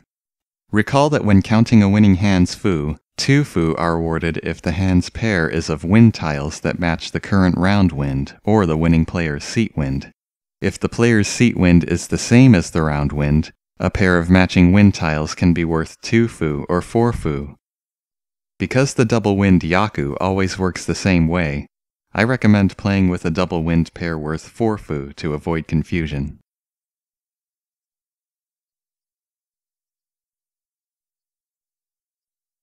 Wareme. This rule dubs the player whose wall was broken at the beginning of the hand as the wareme.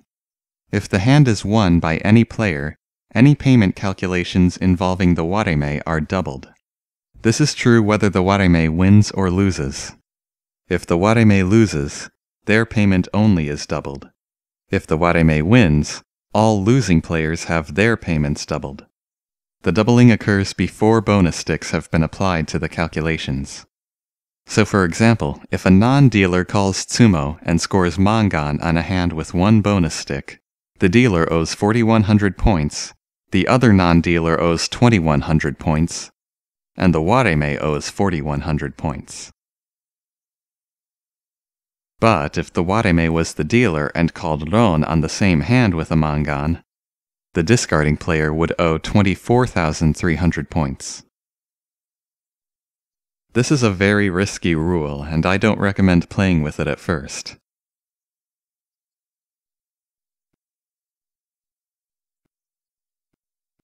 Sekinin Barai, also called the Pao rule. This is a difficult rule that can be applied to certain Yakuman hands.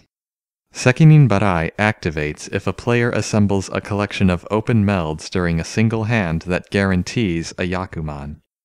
Then, if that player goes out, the player who discarded into the last open meld necessary to ensure the Yakuman is always responsible for a portion of the winning player's payment, no matter how they went out. The dangerous discard has made that player liable for the Yakuman. If the winning player went out off the wall, the liable player must pay the entire amount of the hand, while the other losing players pay nothing.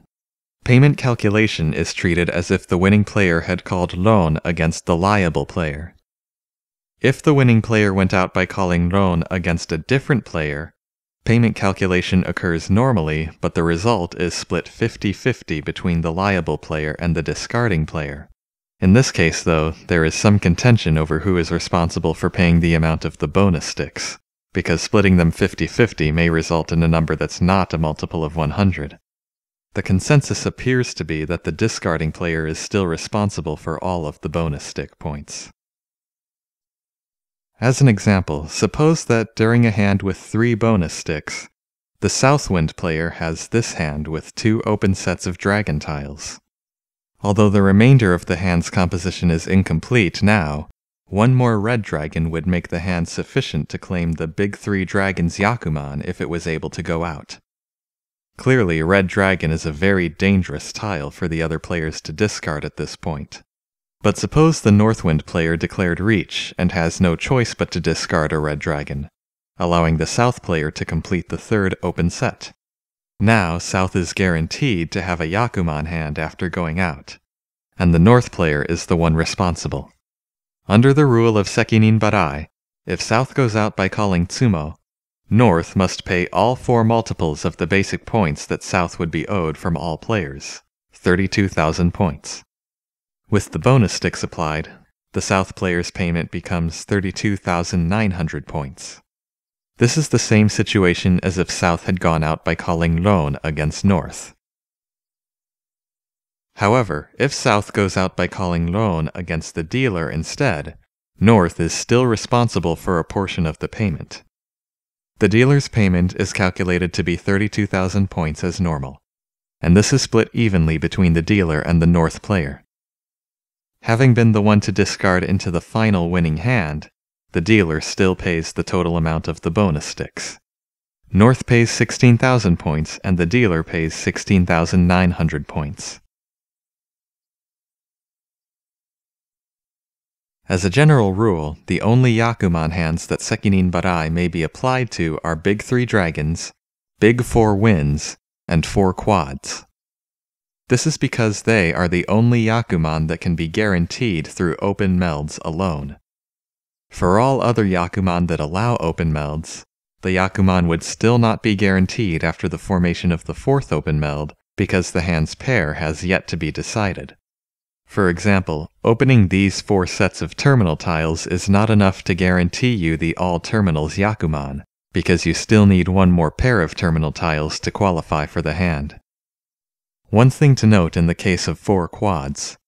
The previous three quads do not need to have been open in order for opening a fourth quad to invoke Sekinin Barai. Closed and late quads still count towards ensuring the Yakuman by virtue of having been set aside. The fourth quad must still be open, of course, or there is no one to call the rule against.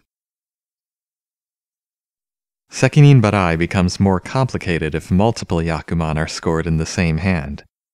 In that case, payment calculations for Sekinin Barai must be performed separately from payment calculations for the regular Yakuman. Let's add all honors onto the previous example and watch what happens. This hand is now worth a total of 16,000 basic points, but they must be split into the 8,000 basic points from the regular all honors Yakuman and the 8,000 basic points from the big three dragons on which Sekinin Barai has been invoked. Suppose the Southwind player went out off the wall again. Payments are calculated in the regular fashion for all honors, with the non-dealers owing 8,000 points and the dealer owing 16,000 points. Then, the liability payment is calculated for the player sitting north, who owes all 32,000 of the basic points from Big Three Dragons. With the three bonus sticks, the final payments are 8,300 points for the west player, 16,300 points for the dealer, and 40,300 points for the North player, for a total of 64,900 points. Now, if South went out off the dealer, the dealer would owe all 32,000 points from all honors, but only 16,000 points from Big Three Dragons. With the bonus sticks, the dealer owes a total of 48,900 points. North still owes the remaining 16,000 points. In addition to the aforementioned Yakuman hands, Rinshan Kaiho is another case in which it is possible to apply the rule of Sekinin Barai. Specifically, if you call Kan against an opponent's discard to form an open quad, and then on the same turn you go out off the dead wall to achieve Rinshan Kaiho, the player who discarded into your open quad becomes liable for your win.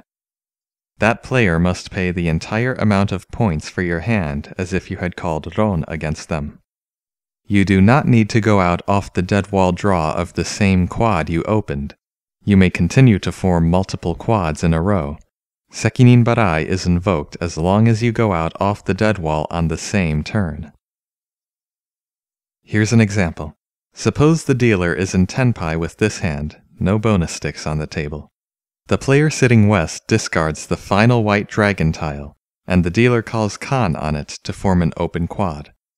Then the dealer draws the last one pin from the dead wall, and adds it to the open set for a late quad.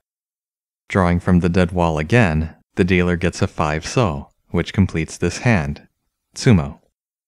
The dealer has now invoked Sekinin Barai against the West player. So instead of scoring the hand as a Tsumo, it is scored as a Ron against West. The hand has 60 Fu and 2 Han from the Yaku White Dragon and Rinshan Kaiho. 960 basic points. West pays the dealer six times the basic points, which is rounded up to 5800. You may choose to play with or without Sekinin Barai in effect. If it is in effect, you may also choose whether it applies to Yakuman hands, Rinshan Kaiho, or both. If you want my recommendation, try applying it to Rinshan Kaiho only at first.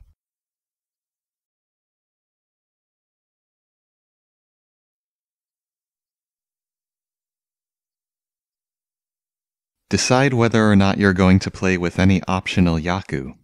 One sequence triplet, sequence of sets, and nagashimangan are the ones I've covered. But there are more optional Yaku out there than just the ones I'm most familiar with, and if you learn any more of them, you're welcome to try using as many of them as you like.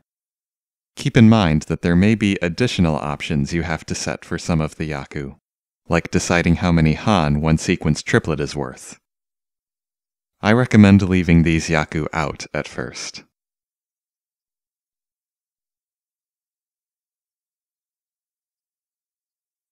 Kuitan. This rule determines whether Tanyao, the no terminals and honors Yaku, may be awarded to an open hand, that is to say, a hand that has eaten discarded tiles. If Kuitan is valid, an open hand receives credit for satisfying no terminals and honors. If Kuitan is invalid, it does not. Kuitan valid is a widely used variation, and I recommend it. Sometimes you might hear a rule set briefly described as being ari-ari or nashi-nashi.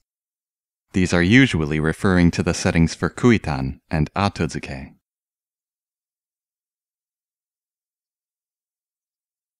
Pinfu Tsumo, also known as Pinzumo. This rule determines whether a closed hand that goes out off the wall is allowed to claim the no fu yaku. Recall that under normal circumstances, going out off the wall provides 2 fu to your hand. If pinfu tsumo is invalid, those 2 fu mean that you have not technically satisfied the no fu requirement of the yaku, and your hand does not receive credit for it. At worst, you'll have to settle for the closed tsumo yaku alone with 1 han and 30 fu. If Pinfu Tsumo is valid, then if you have satisfied all the other requirements of no fu, the two fu of Tsumo do not get awarded to your hand, allowing you to claim the Yaku with the base 20 fu and a minimum of 2 Han. I recommend playing with this rule valid.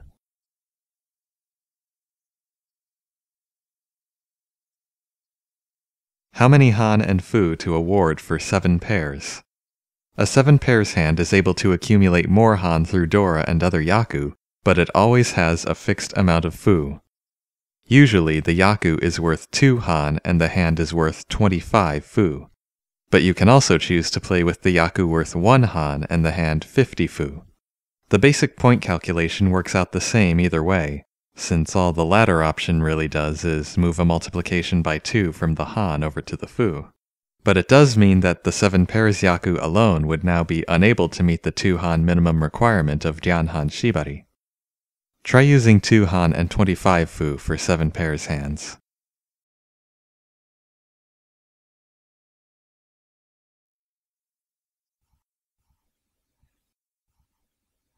Choose whether or not you're going to play with any optional Yakuman, which again, there exist more than the Hand of Mankind, four sequential sets, big wheels, and eight consecutive wins that I've shown you. And don't forget about the other options you may have to set for some of those Yakuman, especially in the case of eight consecutive wins. I also recommend not playing with these at first.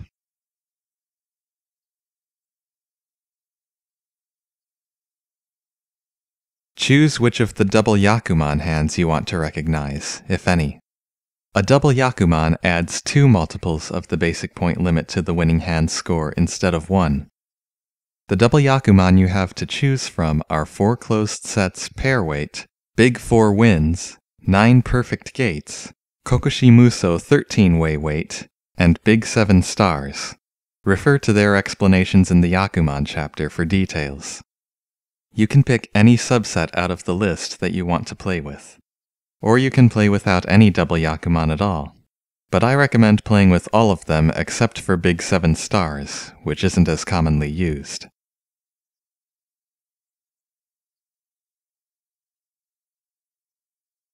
You can choose whether or not a hand that satisfies multiple Yakuman is allowed to accumulate multiples of the basic point limit. If combined Yakuman are invalid, a winning hand that satisfies any Yakuman at all is always awarded a flat 8,000 basic points, or possibly 16,000 points if you're using double Yakuman. If combined Yakuman are valid, then the basic point limit is multiplied by the number of Yakuman the hand has, with each double Yakuman adding two multiples. If you don't want combined Yakuman to be a total game breaker, you can play without them, but as rarely as they happen, I can recommend playing with them.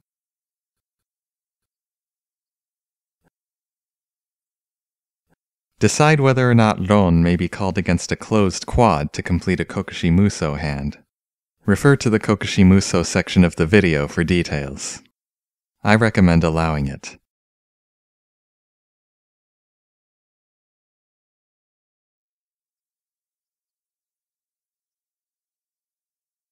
You may change the minimum requirements that the dealer must meet at the end of a hand in order to cause a dealer keep. There are three possible settings for this rule. If the minimum requirement is win, the dealer can only cause a dealer keep by winning the hand.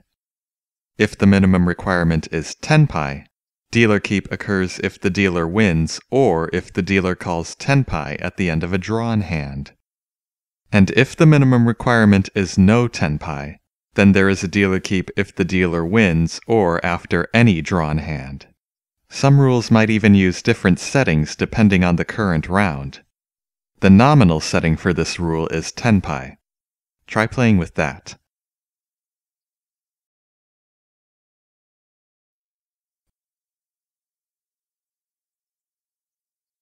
Dobon this rule governs whether the game ends when a player has lost too many points. If Dobon is in effect, the game is immediately over after a hand in which one or more players' scores have become negative, or sometimes fallen to zero. You'll have to choose. If Dobon is not in effect, the game continues with the player or players in a negative balance of points, and the game doesn't end until all rounds have been finished. Whether or not you use this rule depends on how long you want to keep playing. But if you want to avoid the hassle of having to keep track of negative scores, especially if you're using point sticks, I recommend playing with it.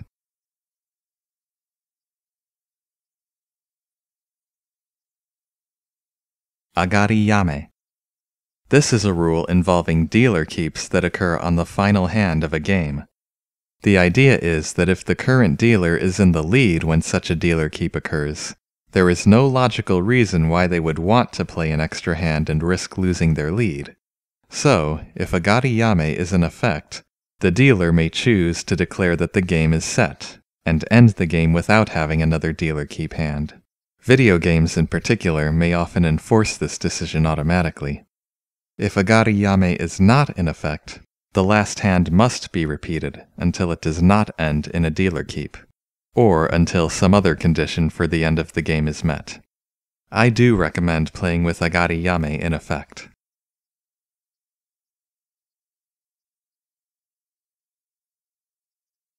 Oka. This rule is related to the point baseline that you use when doing the final scoring at the end of a game. If Oka is absent, the baseline will be the same as the starting amount of points for each player. If Oka is present, the baseline will be higher than the player's starting points. For example, if all players start with 25,000 points, the Oka rule could make the point baseline 30,000 points instead. What this effectively does is assume that all players started the game with 30,000 points, equal to the baseline, but each player had to buy into the game by paying 5,000 points into a jackpot of sorts. The result is that each player starts the game with 25,000 points, and there are 20,000 points in the jackpot, which get awarded to the winner at the end of the game. This jackpot is what is referred to as oka in Japanese. I didn't mention anything about the Oka rule in the final scoring section of the video. The reason for that is, there was no need to bring it up then, because the calculation method used in the example I gave always works out the same way whether or not you're playing with Oka. Now I'd like to revisit that example to show you the details of how it all works out. Let's skip to the part where everyone's points have been rounded to the nearest thousand. First place has 57,000 points, Second place has 32,000 points. Third place has 19,000 points. And fourth place has negative 8,000 points. Assume each player started with 25,000 points. If Oka is absent, then the point baseline is also 25,000 points. And that's what everyone's score is compared to in order to determine final scoring. Doing the math, second place has plus 7, third place has minus 6, and fourth place has minus 33. If you do the same calculation for first place as well, you'll see that first place is at plus 32. This also happens to be the negative sum of the other three players' final scores. Now let's assume that Oka is present, and the point baseline being used is 30,000. This time, the final scores for second, third, and fourth place work out to plus 2, minus 11, and minus 38, respectively. First place works out to only plus 27. But remember, the 30,000 point baseline compared to the 25,000 starting points means all four players paid 5,000 points into the jackpot at the beginning of the game. That jackpot is now awarded to the first place player, and those 20,000 points become an extra plus 20 for their score, making it plus 47. This value happens to be the negative sum of the other player's final scores once again. This is why the negative sum calculation method is preferred for the first place player's score.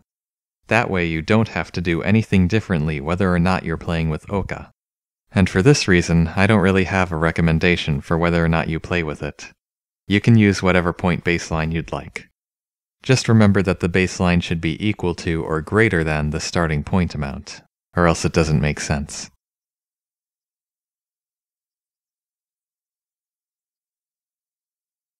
UMA. This is a final exchange of points that occurs after final scoring has been performed. If this rule is used, it is typically something like plus 10 for first place, plus 5 for second place, minus 5 for third place, and minus 10 for fourth place.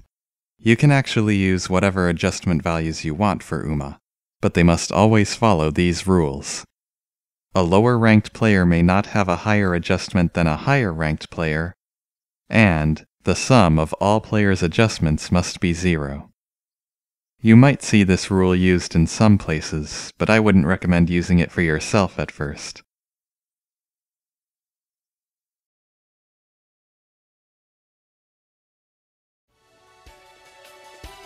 That's all for the rules I have to share with you.